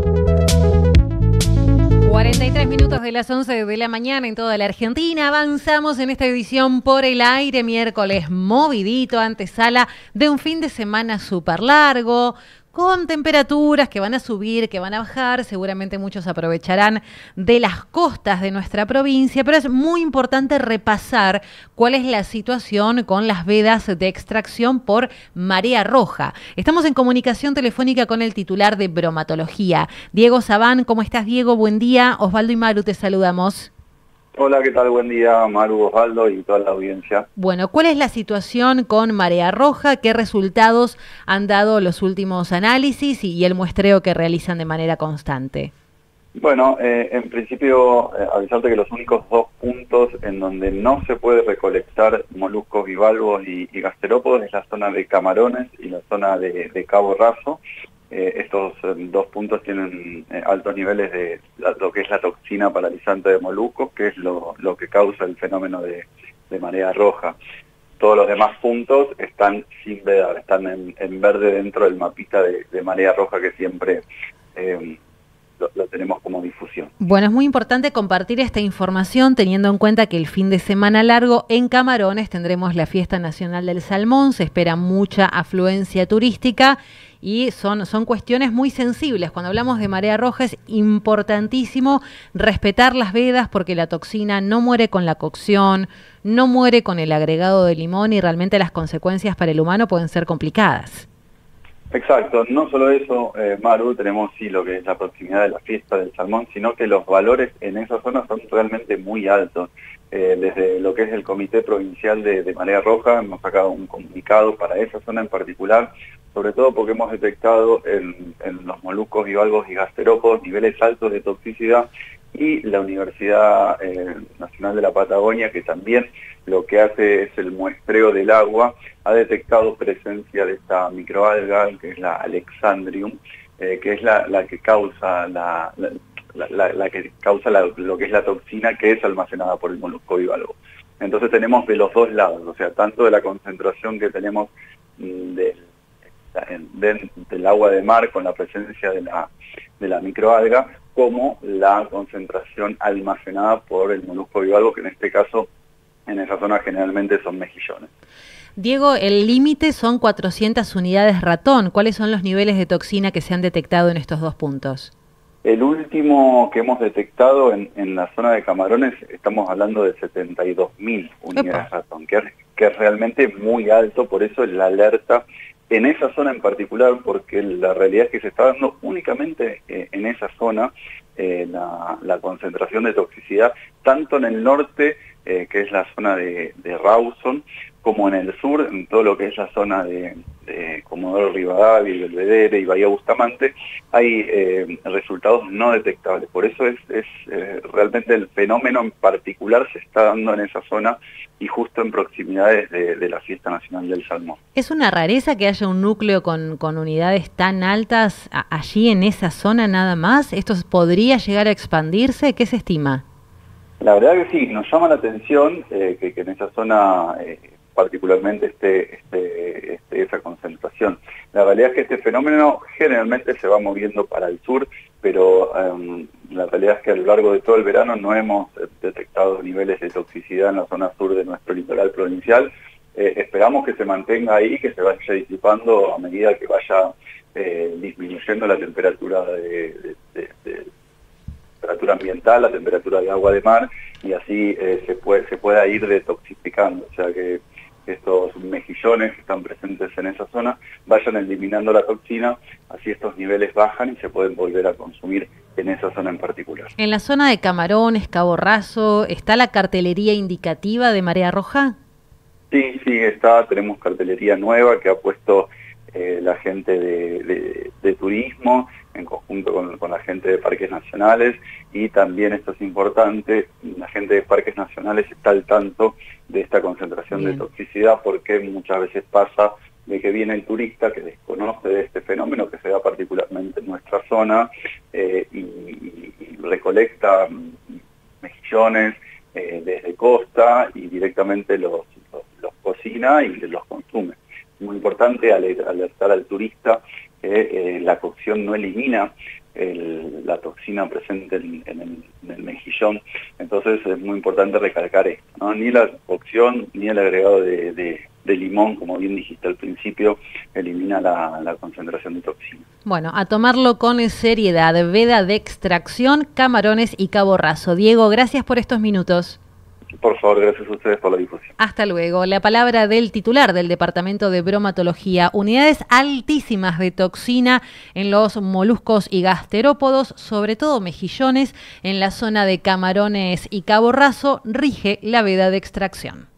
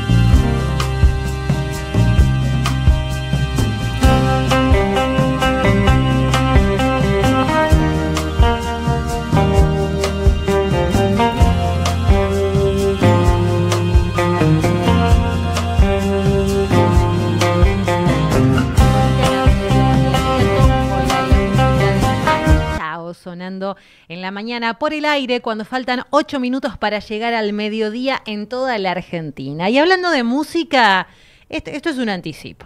Vayan preparándose para cerrar el programa de hoy o el próximo bloque con música mm, bailable y de hace unos cuantos, cuantos, cuantos, cuantos, cuantos años atrás. Hoy tenemos cumpleaños de una artista y yo por ahora lo único que les digo es que vayan haciendo lugar para bailar. Acá nos quedamos hasta la hora 13 por el aire con Osvaldo, con todo el equipo en cadena tiempo.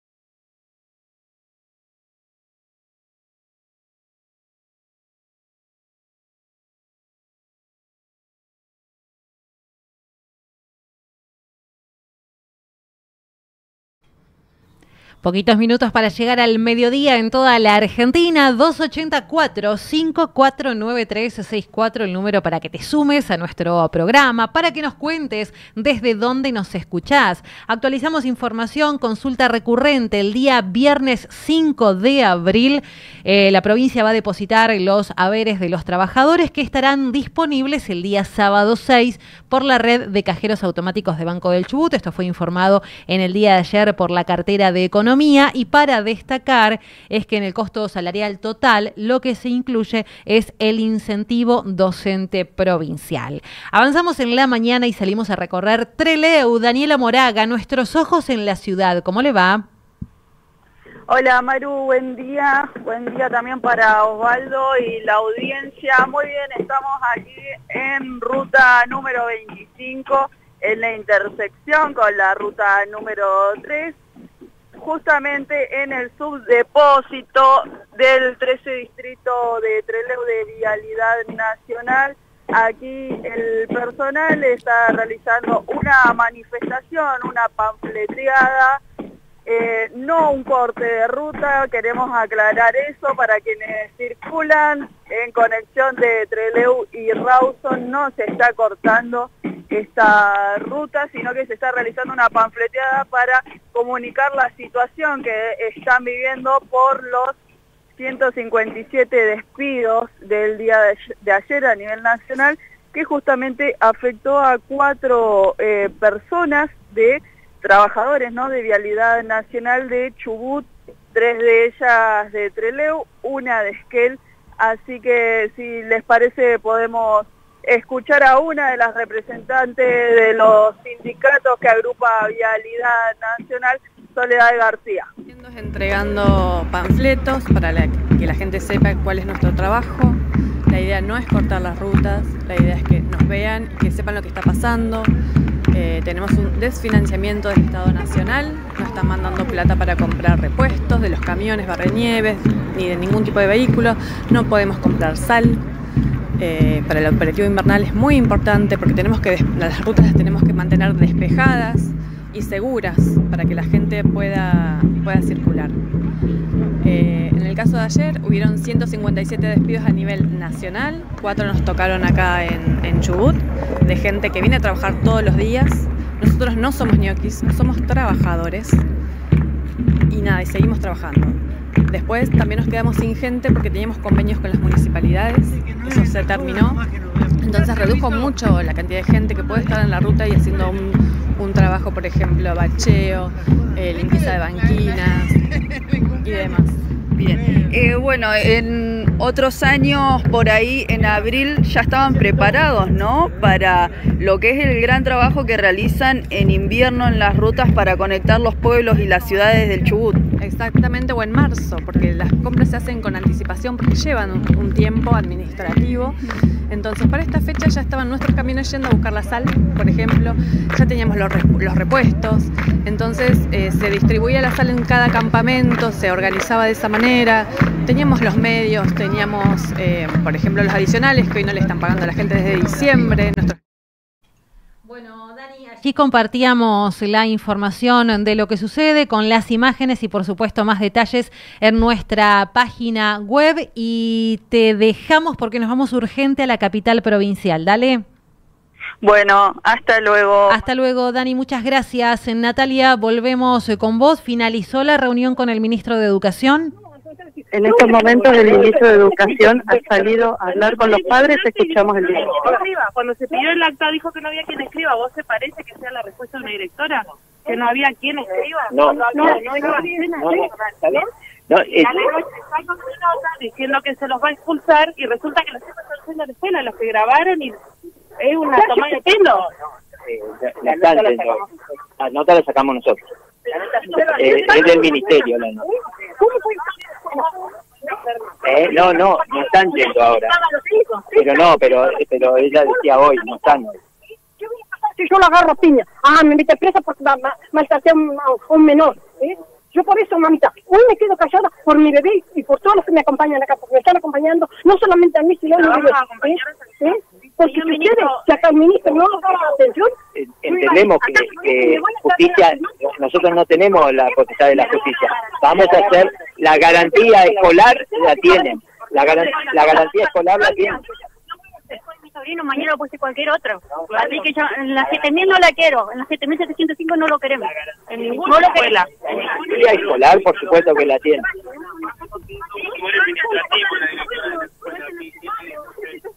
Que sí, que, que por supuesto que,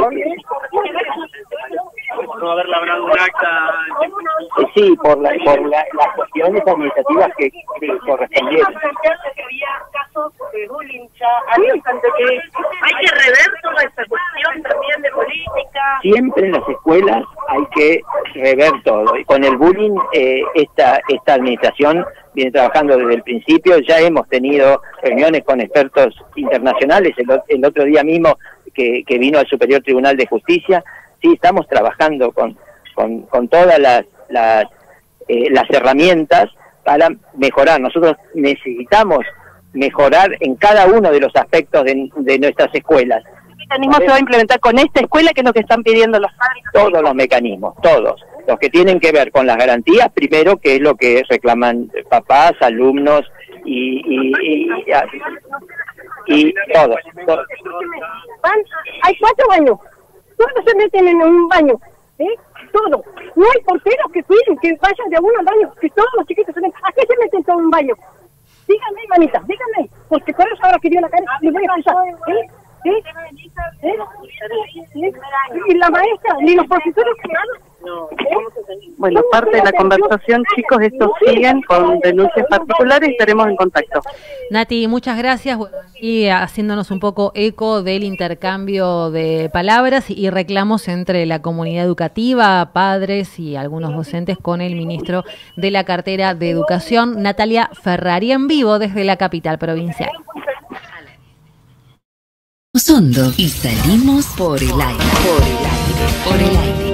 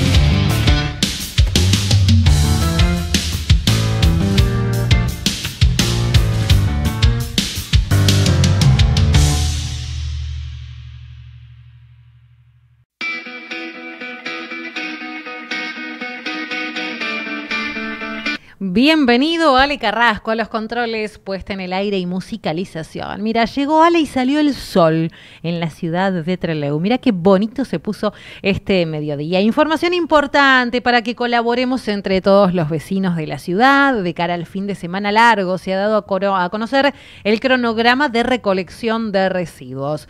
Jueves 28. Sábado 30 y lunes 1 de abril la recolección será normal en ambos turnos. El viernes 29 y el martes 2 de abril solo habrá servicio durante el turno mañana y el día domingo 31 de marzo sin recolección de residuos en la ciudad.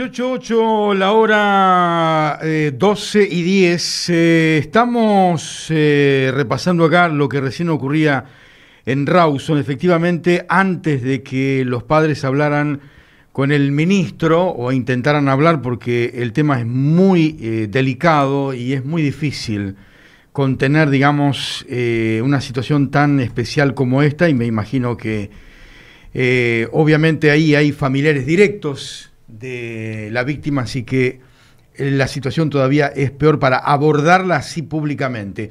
Pero desde el gobierno eh, hicieron público que eh, se informaba a la comunidad educativa de la Escuela 752 que a partir de los hechos de público conocimiento se ha dispuesto que los estudiantes involucrados en los sucesos no continuarán su trayectoria escolar en la institución y se arbitrarán los medios necesarios para garantizar el cumplimiento de la ley nacional y provincial de educación en lo referente a los derechos que les asisten. Desde los equipos de apoyo del Ministerio estamos trabajando y acompañando a toda la comunidad. Bueno, este comunicado, reitero, es oficial, eh, se hizo público antes de este encuentro del ministro con la comunidad educativa que marchó hacia la cartera en Rawson para asegurar que efectivamente eh, los eh, victimarios no van a seguir en ese establecimiento. Pero se aclara lo que dice en uno de los renglones, que se dará eh, garantías para cumplir con la ley nacional y provincial de educación, que es que esta- estas, estas criaturas, por así llamarlo, estos niños, estos victimarios, tienen obviamente que seguir escolarizados. Digo porque parece que hay casi como un rechazo generalizado. Ahora que lamentablemente la viralización de los videos eh, ha sido un hecho terrible, horroroso, que no pudo haber ocurrido nunca, pero es como que nadie los quiere tener en la, en la escuela. Pero el ministerio tiene la, La obligación, obligación. de encontrarles el lugar para que estas, esta- estos chicos continúen escolarizados. Así que ahí está un poco lo difícil que es, porque recién lo escuchábamos, nadie los quiere en ningún lado. Prácticamente los quieren echar de. Pero el de- sistema no los puede excluir. No, no, pero además ti- la- le- le- les garantiza la, la ley, tratándose de menores, y creo que además, más allá de, obviamente, el abordaje que se deberá hacer sobre ellos y sobre sus familias, necesariamente estos chicos tienen que seguir escolarizados. No es el camino, no, que no continúen. ¿eh? Habrá que ver de qué forma. eh, supongo que ahora el fin de semana largo creo que como que va a bajar un poco la, La el- espuma. el- el nivel, digamos, de, de- de bronca que hay, ¿eh? Mm, lo cual no, no significará que está o que se pueda resolver rápidamente esta situación. No es un tema rápido de resolver por el abordaje integral que debe tener. Pero frente, digamos, a estos cuestionamientos de todo el mundo que eh, uno escucha en Rawson, que no los quiere en ninguna escuela, bueno, hay que decir que hay derechos y garantías para esta para estos este, niños que obviamente también deben ser respetados y en algún lugar tendrán que se- continuar siendo escolarizados. Eh, como decíamos, eh, es un tema muy difícil de abordar y además desde los medios tenemos una enorme responsabilidad en el enfoque que hagamos de esto, pero creo eh, necesario advertirle un poco también y llamar a la reflexión a la comunidad respecto de que no se puede eh, pretender que estos chicos no vayan a ninguna escuela. A una escuela van a tener que continuar yendo.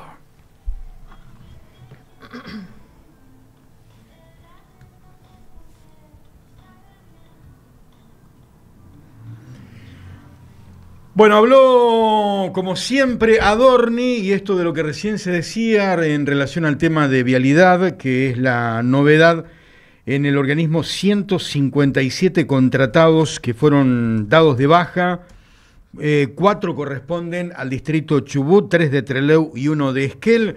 Hoy Adorni confirmó la baja de 15.000 contratos. Ayer había hablado Javier Milei, el presidente, durante una reunión de empresarios del sector energético acerca de la salida de unos 70.000 empleados del Estado. Bueno, es un número que causó mucha sorpresa, pero se sabía que no era lo que iba a ocurrir en definitiva de una sola vez. En principio se dice que mm, a partir de que llega el 31 de marzo y algunos contratos vencían, no van a ser renovados unos 15.000 contratos eh, en el Estado Nacional. Eh. Esto abarca distintos organismos públicos, pero que eh, algunos que vencen sus contratos el 31 van a ser renovados por otros seis meses y que dentro de seis meses habría otra tanda y cuando se llegue a fin de año habría otra tanda de acuerdo a lo que parece ser que sería el esquema del gobierno para desprenderse de esa cifra de la que habló ayer Milei, que es muy alta, ¿no? Estamos hablando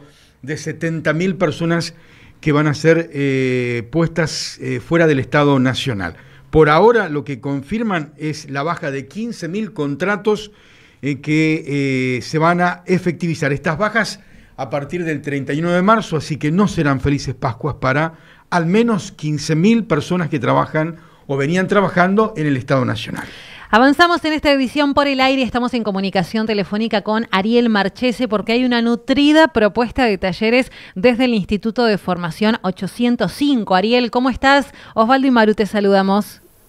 Hola, ¿cómo están? ¿Cómo les va? Todo, muy bien, Ariel. Bueno, compartíamos algunos flyers, la verdad que propuestas variadas, ¿no? Para la comunidad. Sí, por suerte, bueno, este año podemos eh, decir que, que tenemos una propuesta bastante variada con respecto a otros años, eh, tenemos alrededor de, 50 espacios que están funcionando y eh, con, una buena matrícula, por suerte. ¿Cuáles son esas alternativas que tenemos, Ariel? Y tenemos eh, distintos talleres de los distintos lenguajes artísticos como teatro, artes visuales, música y danzas, que se incorporó a partir del año pasado para niños. ¿Y, los dentro requisitos? De esos lenguajes, perdón, dentro de esos lenguajes eh, variedad de, propuestas para todas las edades. ¿Y cuáles son los requisitos para sumarse? En realidad eh, se deben acercar a la veeduría del instituto en el segundo piso de lunes a viernes de 14 a 18 y eh, consultar primero la disponibilidad de, los talleres porque como ya hace tres semanas más o menos que arrancamos algunos talleres ya tienen los cupos completos, ¿no? así que es cuestión de acercarse, hablar con las BDLs y eh, en el caso de que haya mm, disponibilidad es completar una planilla y nada más. O sea, los talleres son totalmente gratuitos. Ariel, hasta ahora, ¿cuáles son los, los más convocantes? Y por lo general son los de instrumentos o en este caso los de dibujo y pintura. Tenemos taller de pintura, de grabado, de dibujo, de escultura y mucha gente se acerca a, poder eh, asistir a esos talleres que la verdad que están tan buenísimos. ¿Edades para estos talleres, para poder acceder, cuáles son? Y tenemos talleres de distintas variedades, como te dije antes. A partir de los tres años ya tenemos talleres, eh, tenemos unos talleres integrados que es de expresión artística en general y sin límite de edad. Así que cualquier persona que, que desee hacer arte puede acceder a los talleres. ¿Este año tenemos más propuestas que años anteriores, Ariel? Y como te dije, sumamos eh, danzas para niños y, bueno, por cuestiones de, de, personal, eh, los, los, talleres de artes visuales teníamos poquito el año pasado y este año logramos eh, convocar a nuevos docentes para ocupar estos espacios que estaban sin, sin funcionar. Así que yo les, les, les propongo a, la- a todas las personas que se puedan acercar para averiguar qué, qué espacios hay. Claro, conocer todos los detalles. ¿Esto funciona un Claro. poco también con, con el pedido que hacen los vecinos de sumar propuestas y distintas alternativas y lenguajes? Sí, en este momento estamos complicados para sumar lenguajes nuevos por una cuestión del ministerio y, y- y demás que, que nos escapa a nosotros. ¿sí? Eh, el año pasado se realizaron concursos de casi todos los talleres eh, donde cada docente tuvo, tuvo que concursar su espacio eh, y ahí pudimos, como te dije, incorporar nuevos espacios. Solamente en esos momentos son cuando podemos generar nuevas propuestas. Son talleres en los cuales, eh, según la, la estadística, ¿no? Eh, ¿Los alumnos se culminan la cursada o hay deserción en algún momento del año? Y generalmente baja un poco a mitad de año, pero ah, ya hace unos años que también levanta a mitad de año, ¿no? Hay gente que por ahí viene y se anota a mitad de año. Eh, lo bueno que nosotros dejamos siempre la inscripción abierta, eh, precisamente por esto, ¿no? Que mm, eh, sobre todo en invierno que se generan enfermedades son los, los chiquitos y por ahí deserción, pero por eso dejamos la, la, la inscripción abierta y, y bueno, eh, teniendo en cuenta estas cuestiones, ¿no? ¿Se ha podido eh, articular con, con las autoridades un poco todo lo que es el, el mecanismo de seguridad en, eh, en inmediaciones del instituto? Mira, por suerte eh, hemos conseguido que la Guardia Urbana esté presente, ¿sí? sobre todo a las altas horas de la noche, cuando ya oscurece, que hemos tenido varios casos de, de robos y de violentar vidrios de autos y demás. Eh, por suerte está la, la Guardia Urbana, eh, tanto cuando sale la secundaria como cuando funcionamos nosotros, y bueno, cada tanto hay algún patrullero también dando vuelta. Bueno, eso, eso es importante después de algunos lamentables episodios ¿no? que han sufrido allí en inmediaciones del instituto. Ariel, compartimos Sí. la información con la audiencia, un montón de talleres, un montón de propuestas para acercarse, conocer y, por qué no, también sumarse. Perfecto, buenísimo. Vuelvo a extender la invitación. Acérquense al instituto de lunes a viernes, entre las 14 y las 18, a conocer nuestra propuesta que es variada y sobre todo lo principal que es gratuit- gratuita y para toda la comunidad. Buenísimo, Ariel, gracias por estos detalles. Bueno, gracias a ustedes. Hasta luego. La palabra de Ariel Marchese con toda la nutrida propuesta de talleres gratuitos en el Instituto de Formación Superior número 805.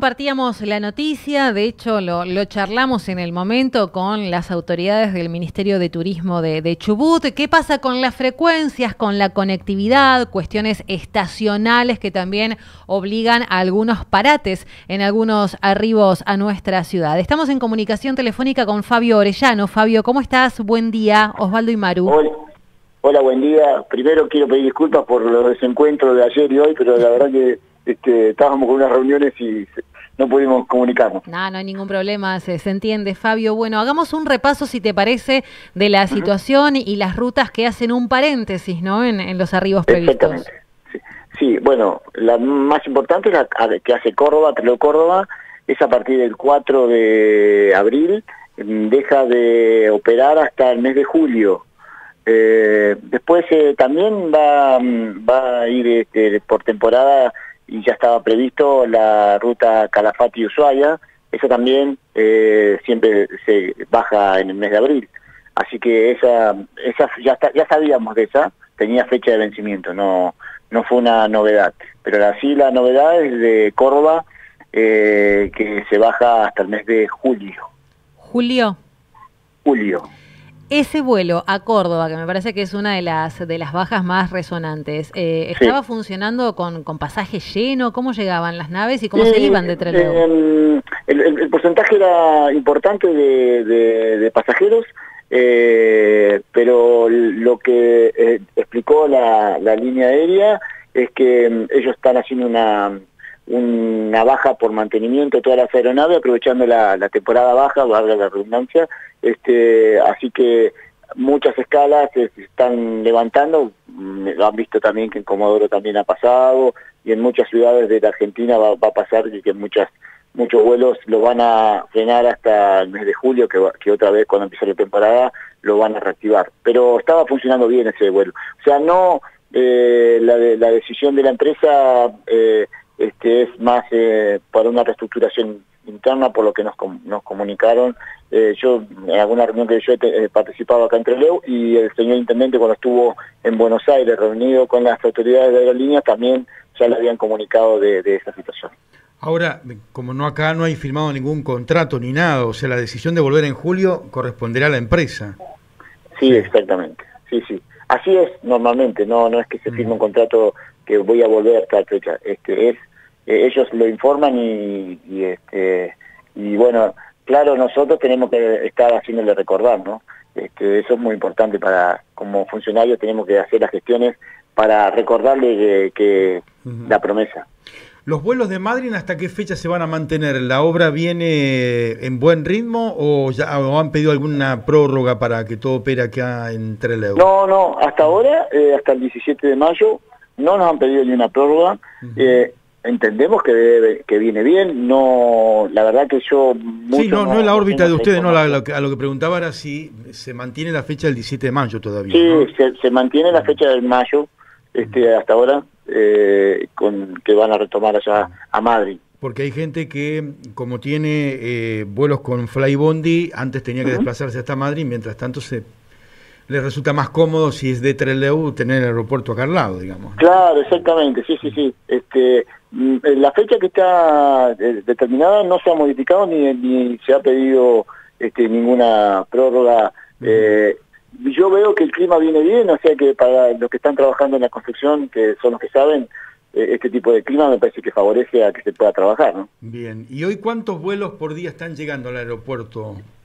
Bueno, nosotros, dependiendo del día, hay, hay días que tenemos cuatro, cinco, hasta siete, eh, es depende del día, este, va, va variando. Eh, nosotros estamos eh, casi 50 vuelos eh, semanales, eh, estamos teniendo ahora, eh, luego, bueno, a partir del 4 van a empezar a, a ir decayendo, pero pero no vamos a tener menos de 25 vuelos semanales eh, con la baja. ¿Qué pasa en el marco de todas esta, de estos paréntesis, como lo decimos, Fabio, eh, esa posibilidad de conexión quizás con Rosario o con algún otro Bien. punto de la Argentina? En, en la última reunión que, como les comentaba, que tuvo el señor intendente con las autoridades de aerolínea, se expuso eso, eh, quedó a consideración tanto la, la conectividad como siempre hablábamos de, de Rosario y Santa Fe también agregaron, y todo lo que es la parte noroeste de Argentina eh, se expuso y quedó a consideración de, las autoridades. También eh, se, em, a pedido de las de las agencias de, de, la, Cámara de Agencias de Viajes eh, se pidió que el primer vuelo que nosotros tenemos que sale de Seiza, que sale a las cuatro y media de la mañana, se pueda correr un poquito para más, más de día, para que aquellos turistas que vienen del exterior y están llegando a la Argentina casi en esa hora, porque los, los vuelos que vienen del exterior este, aterrizan en Ezeiza a esa hora, puedan tener la, la posibilidad de tener la combinación eh, con el vuelo que sale, el primero que sale para acá a la mañana. Bueno, Fabio, vamos a ir actualizando todas las conexiones, rutas posibles y fechas. Eh, esto Bien. seguramente se ha traducido en las últimas horas en muchas consultas de los usuarios, ¿no? Sí, seguro, seguro. Este, hay muchas consultas, eh, pero las empresas también se encargan de, dar, eh, mandar mail cuando hay algún tipo de modificación. Eh, así que creo que, están bastante bien informados los, usuarios que, tienen relación directa con algún tipo de vuelo, ¿no es cierto? Fabio, gracias por estos minutos. Gracias a ustedes, que sigan bien. Igualmente, hasta luego. La palabra del director del aeropuerto y terminal de la ciudad, un poco la repercusión sobre estas bajas de frecuencias para el aeropuerto internacional de nuestra ciudad.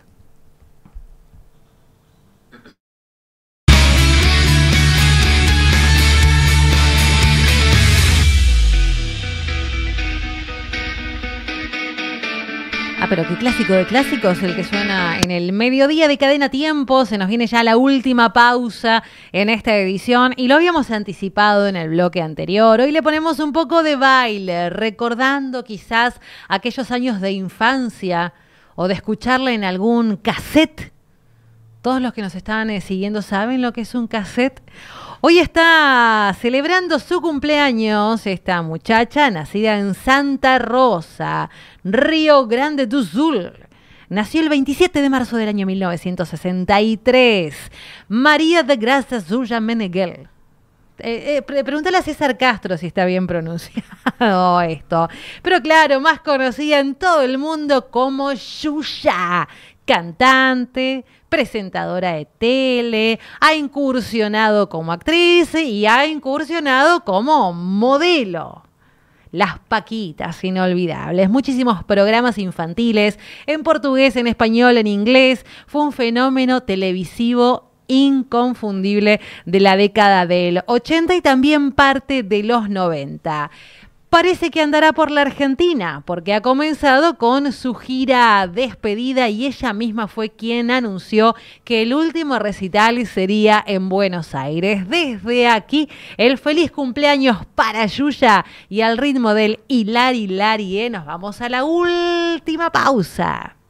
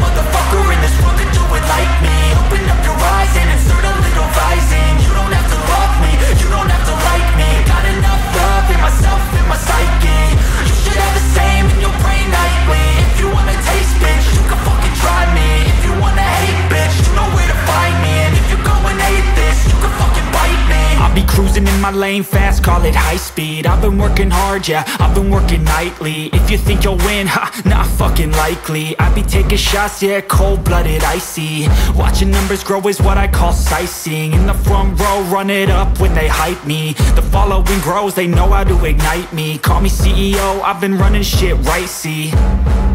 And I ain't playing games, I create my own lane Making pleasure out of pain, uh. Turning losses into gains I'm the boss, I'm making change. I've been rocking this exchange, uh Popping off and risking things Gonna make a fucking name. I just wanna be famous. But I don't want that cheap fame. No, I'm not that vain. I just wanna be greatness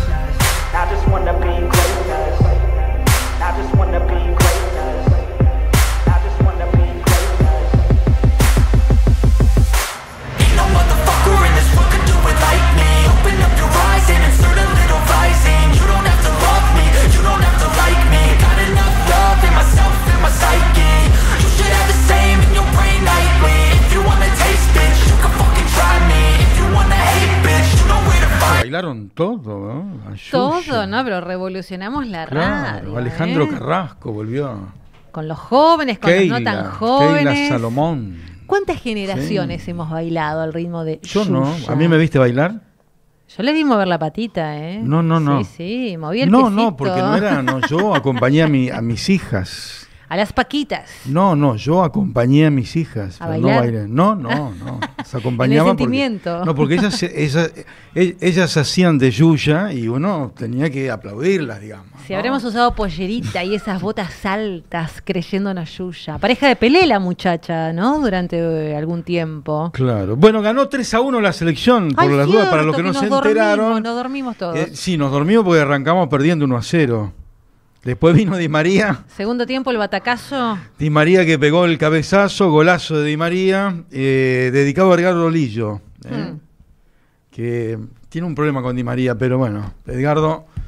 eh, Di María además no la está pasando bien, por lo que sabemos. Las amenazas las en amenazas en Rosario. Rosario. eh, así que bueno, eh, Lautaro Martínez hacía rato que no, no, este, no encontraba el, el arco, lo encontró frente a los ticos de Costa Rica. Bueno, eh, había una foto ahí que yo había pasado no, eh, de este eh, fenómeno. Esta foto corresponde a camarones. Luminiscencia de fitoplancton. Claro, exactamente. Eh, ha dado vuelta el país esta foto, ¿eh? Parecen reflectores, para los que nos siguen por lo- la imagen de la radio, digamos, ¿no? Parecen como reflectores bajo del agua, pero bueno, este es un fenómeno que se llama noctilucas. Es el, como dice Mauro, es el fitoplancton y produce esto que se llama técnicamente una bioluminiscencia. Ese es el término exacto.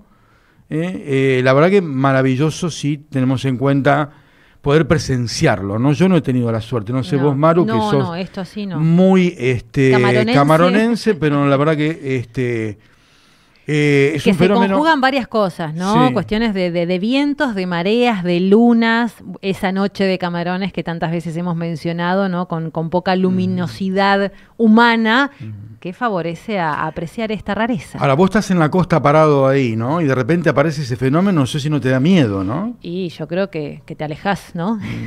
las patitas al agua no las metes. Bueno, después hay otra foto que tiene que ver con la fiesta mm, nacional del chocolate que se hace en Bariloche. Bueno, estos chiquitos, ayer todos los alumnos de tercer y cuarto grado de Bariloche los llevaron en seis turnos divididos, son 1.400 chicos, los llevaron hasta un lugar donde las chocolaterías de Bariloche les obsequiaron el huevito de Pascua para que se lo lleven a la casa. Qué suerte. Sí, y lo que tuvieron que hacer ellos era decorarlo, así que le dieron... Ah, pensé que romperlo. No, no, todos los elementos para decorarlo, envasarlo y llevárselo Genial. a la casa. Me parece una muy buena eh, iniciativa de, la, de las que obviamente viven de la industria del chocolate, particularmente en Bariloche, porque bueno, no en todos los lugares tienen una decisión, digamos, que abarque a, la responsabilidad social. No todas las empresas tienen esta, esta característica, pero bueno, lo que se dio es que son todos los alumnos de tercero y cuarto de todas las escuelas, sean públicas, privadas, de gestión, todas fueron eh, divididas en seis turnos, los terceros y los cuartos grados los llevaron y se divirtieron los chicos porque he visto fotos tremendas, porque imagínate que Meter Eh, mano en el Claro, pero además in- interesante porque les dieron los guantes, les dieron el gorro, le- les dieron el delantal. Todo. para que pasaran un momento eh, que seguramente para ellos va a ser inolvidable y que de paso se lleven un huevo que hoy cuesta Sale un huevo. huevo. Si a mí me regalas un huevo de Pascua, sé cómo te lo decoro, ¿no? Te lo dejo hermoso. Nos vamos a Puerto Madryn, Mario Gajero. ¿Cómo le va? Buen día, Maru, buen día, Osvaldo, para ustedes, para toda la audiencia. Muy bien, mediodía agradable que tenemos aquí en Puerto Madryn, con cielo parcialmente nublado y ya comenzando a vivir a pleno todo lo que tiene que ver a Semana Santa, porque a media mañana quedó formalmente inaugurada la vigésima edición de la Feria de los Pescadores Artesanales, a tener en cuenta, porque ha habido una modificación, no va a estar la carpa montada en lo que es el playón recreativo allí al lado del muelle de Piedradona, porque vamos a tener cruceros en estos días, con lo cual la carpa, los y también eh, artesanos se han trasladado al el playón deportivo, digamos, para aquellos que tienen más años, es fácil de decirlo que eran las antiguas canchas de tenis que tenían en la costa de Puerto Madryn, eh, allí frente al Hotel Península, entre el 28 de julio y Roca Sáenz Peña, se ha montado todo ese sector que ya está disponible justamente para que la comunidad pueda acercarse y que va a estar eh, hasta el próximo día lunes. eh. También se extiende la cantidad de días que va a estar funcionando la feria. En ese marco, dialogamos con el intendente de la ciudad, Gustavo Sastre, que esto nos decía. Bueno, que sea un gran éxito y que todos nuestros vecinos que hemos hecho una apertura importantísima, más allá de, que tuvimos que innovar y que, y que creamos otro nuevo espacio para este tipo de, eventos, hemos incorporado absolutamente a todos quienes eh, prestan distintos servicios y actividades para lo que es un fin de semana largo. Fíjese que están eh, todas las ferias de artesanos, todos los pescadores artesanales, está todo el sector gastronómico con food truck. La verdad que, que muy contento y, entender eh, eh, que, esto lo hacemos entre todos y que, el madrinense que, que vive en la ciudad y trabaja en este tipo de, de cuestiones tenga ese sentido de pertenencia y que hoy, siendo la vigésima feria de pescadores artesanales y este Vía Crucis Submarino, lo podamos compartir, más allá de- del trabajo que seguramente va a redituar la cantidad de turismo que va a llegar, que también nuestros vecinos lo puedan disfrutar y que quienes trabajan puedan cumplir las expectativas que han generado con esto. ¿Este ámbito es, eh, será el definitivo o es una cuestión excepcional por la situación de los cruceros?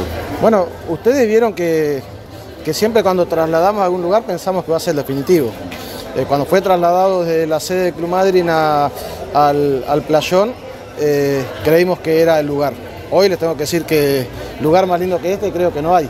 Pero bueno, iremos viendo. Acá también se eh, conjugaba con la llegada de, de un crucero muy importante y, y adaptamos este espacio que quedó hermoso, quedó, quedó muy lindo y que seguramente va a dar la posibilidad de que, que miles de personas puedan eh, pasar eh, eh, aquí por, por este lugar. ¿Qué expectativas hay en cuanto al movimiento turístico este fin de semana largo en la ciudad y la región?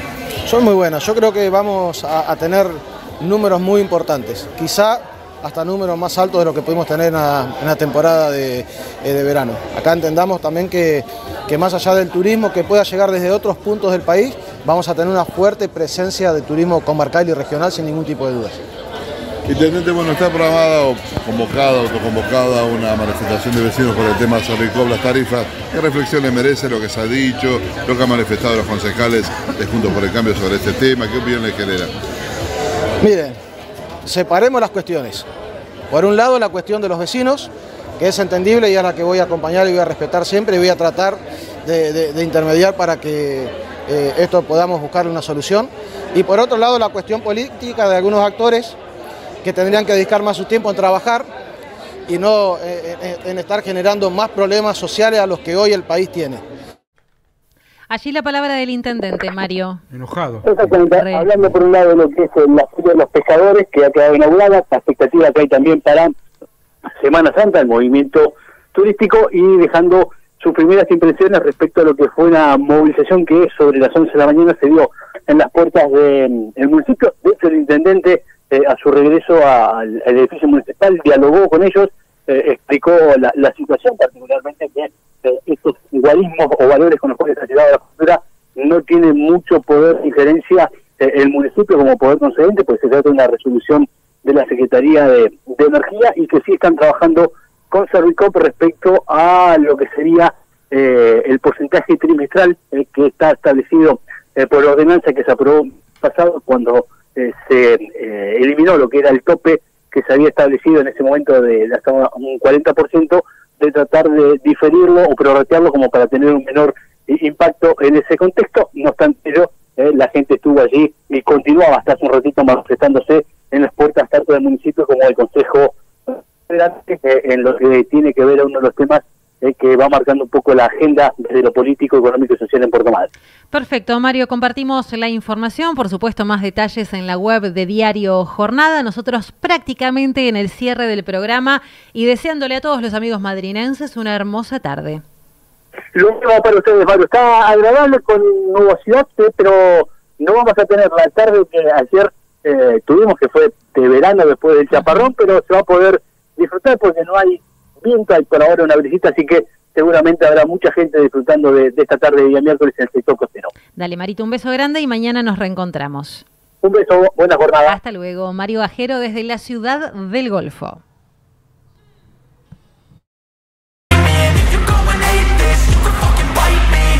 Okay, I'm going off every chance I get I don't really take a loss, well, I'll admit That's why I'll make it to the top, yeah, I commit And no, I'm never getting lost, I get after it Bueno, se sigue ratificando mañana mucho calor. eh. El pronóstico privado dice 34 para mañana en Trelew, eh. 31 mañana en Playa Unión.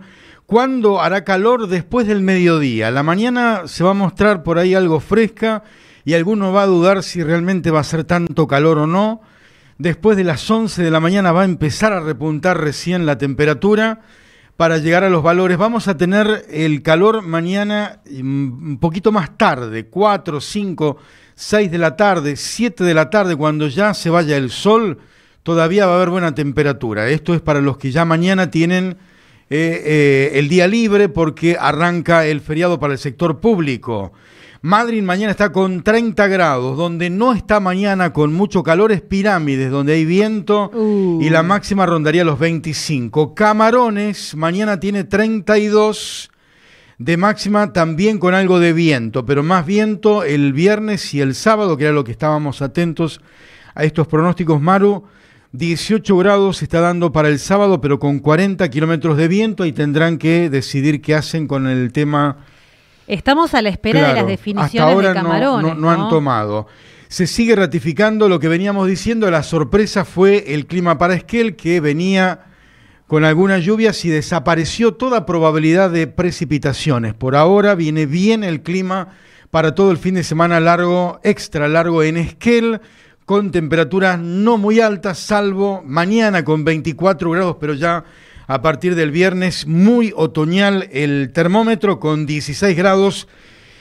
14 grados para sábado, domingo y lunes y 15 grados para el martes. Pero lo más importante, reitero, para Esquel y Trevelin es que las precipitaciones que en algún momento por ahí aparecían en los pronósticos es como que desaparecieron. Siguen, sí, chubascos para la zona de la comarca andina, pero por ahí en alguna de las jornadas los chubascos serían matinales, lo cual daría eh, oportunidad para las actividades por la tarde donde no habría algún tipo de precipitación. En la comarca andina mañana 26 grados, pero a partir del viernes arrancan los chubascos con vez. descenso de temperatura, pero reitero que por lo menos lo que en principio aparecía todavía más cerrado, ah, con alguna jornada de lluvia, ahora los chubascos por ahí pueden ser momentáneos, digo momentáneos de, De ratitos. ma- matutinos. Qué variopinto viene Sí. el fin de semana, ¿eh? Acá en la costa, eh, mañana calor, ya después del fin de semana no. Pero bueno, esto es lo que tenemos. Algo más en las grutas, mañana 30 grados y el viernes 27, ahí hay verano jueves y viernes. Pero también el sábado baja la temperatura a 21 grados. Así que bueno, creo que hemos mantenido más o menos los valores eh, que venían los pronósticos anunciando con la novedad de la zona de Esquel que por lo menos parece que no se va a dar lluvia. Mañana volvemos a actualizar a ver si hay alguna modificación y nos vamos bailando con el ritmo de Ale Carrasco en los controles. Gracias Luchito Baúl en la producción del espacio. El equipo de primera vuelta ya listo para arrancar. Con Osvaldo volvemos mañana. Por allí lo tenemos también al turquito Abdala. Eh, buen provecho, eh, ahí el equipo alimentándose. Y le ponemos eh, música al cierre por el aire. Te saco a bailar, Osvaldo, con los Galigares. Caligaris. Los Caligaris. Fit.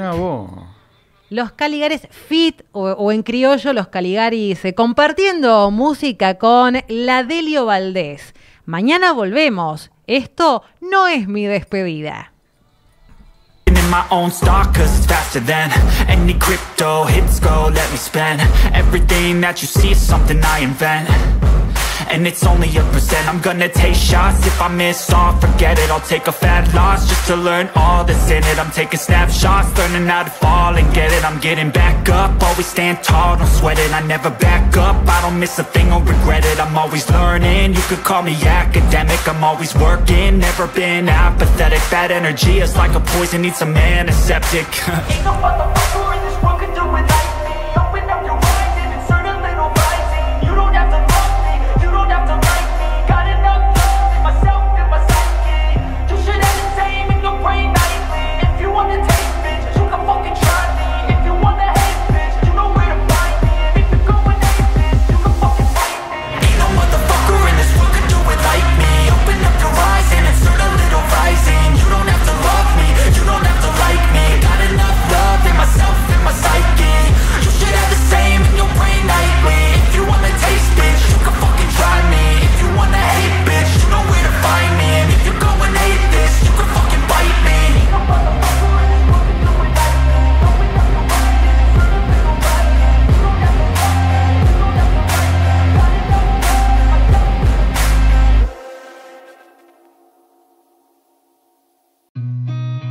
seen a lot of change, been through a lot of pain. Some things are not the same as they were a year ago.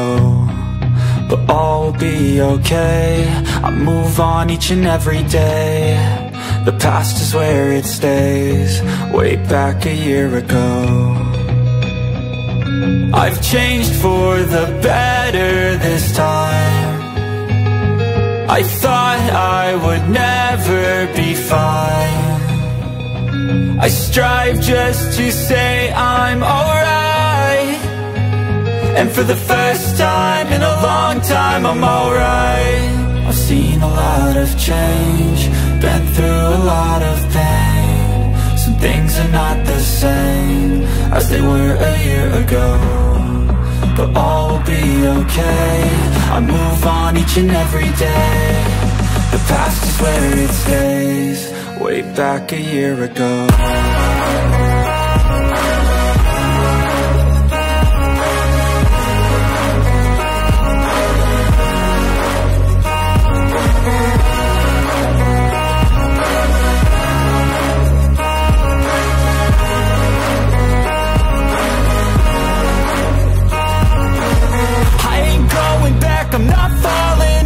push all my chips and call all in I'll bet on myself, you keep stalling. I hear destiny and it's calling. I'll keep my head up high.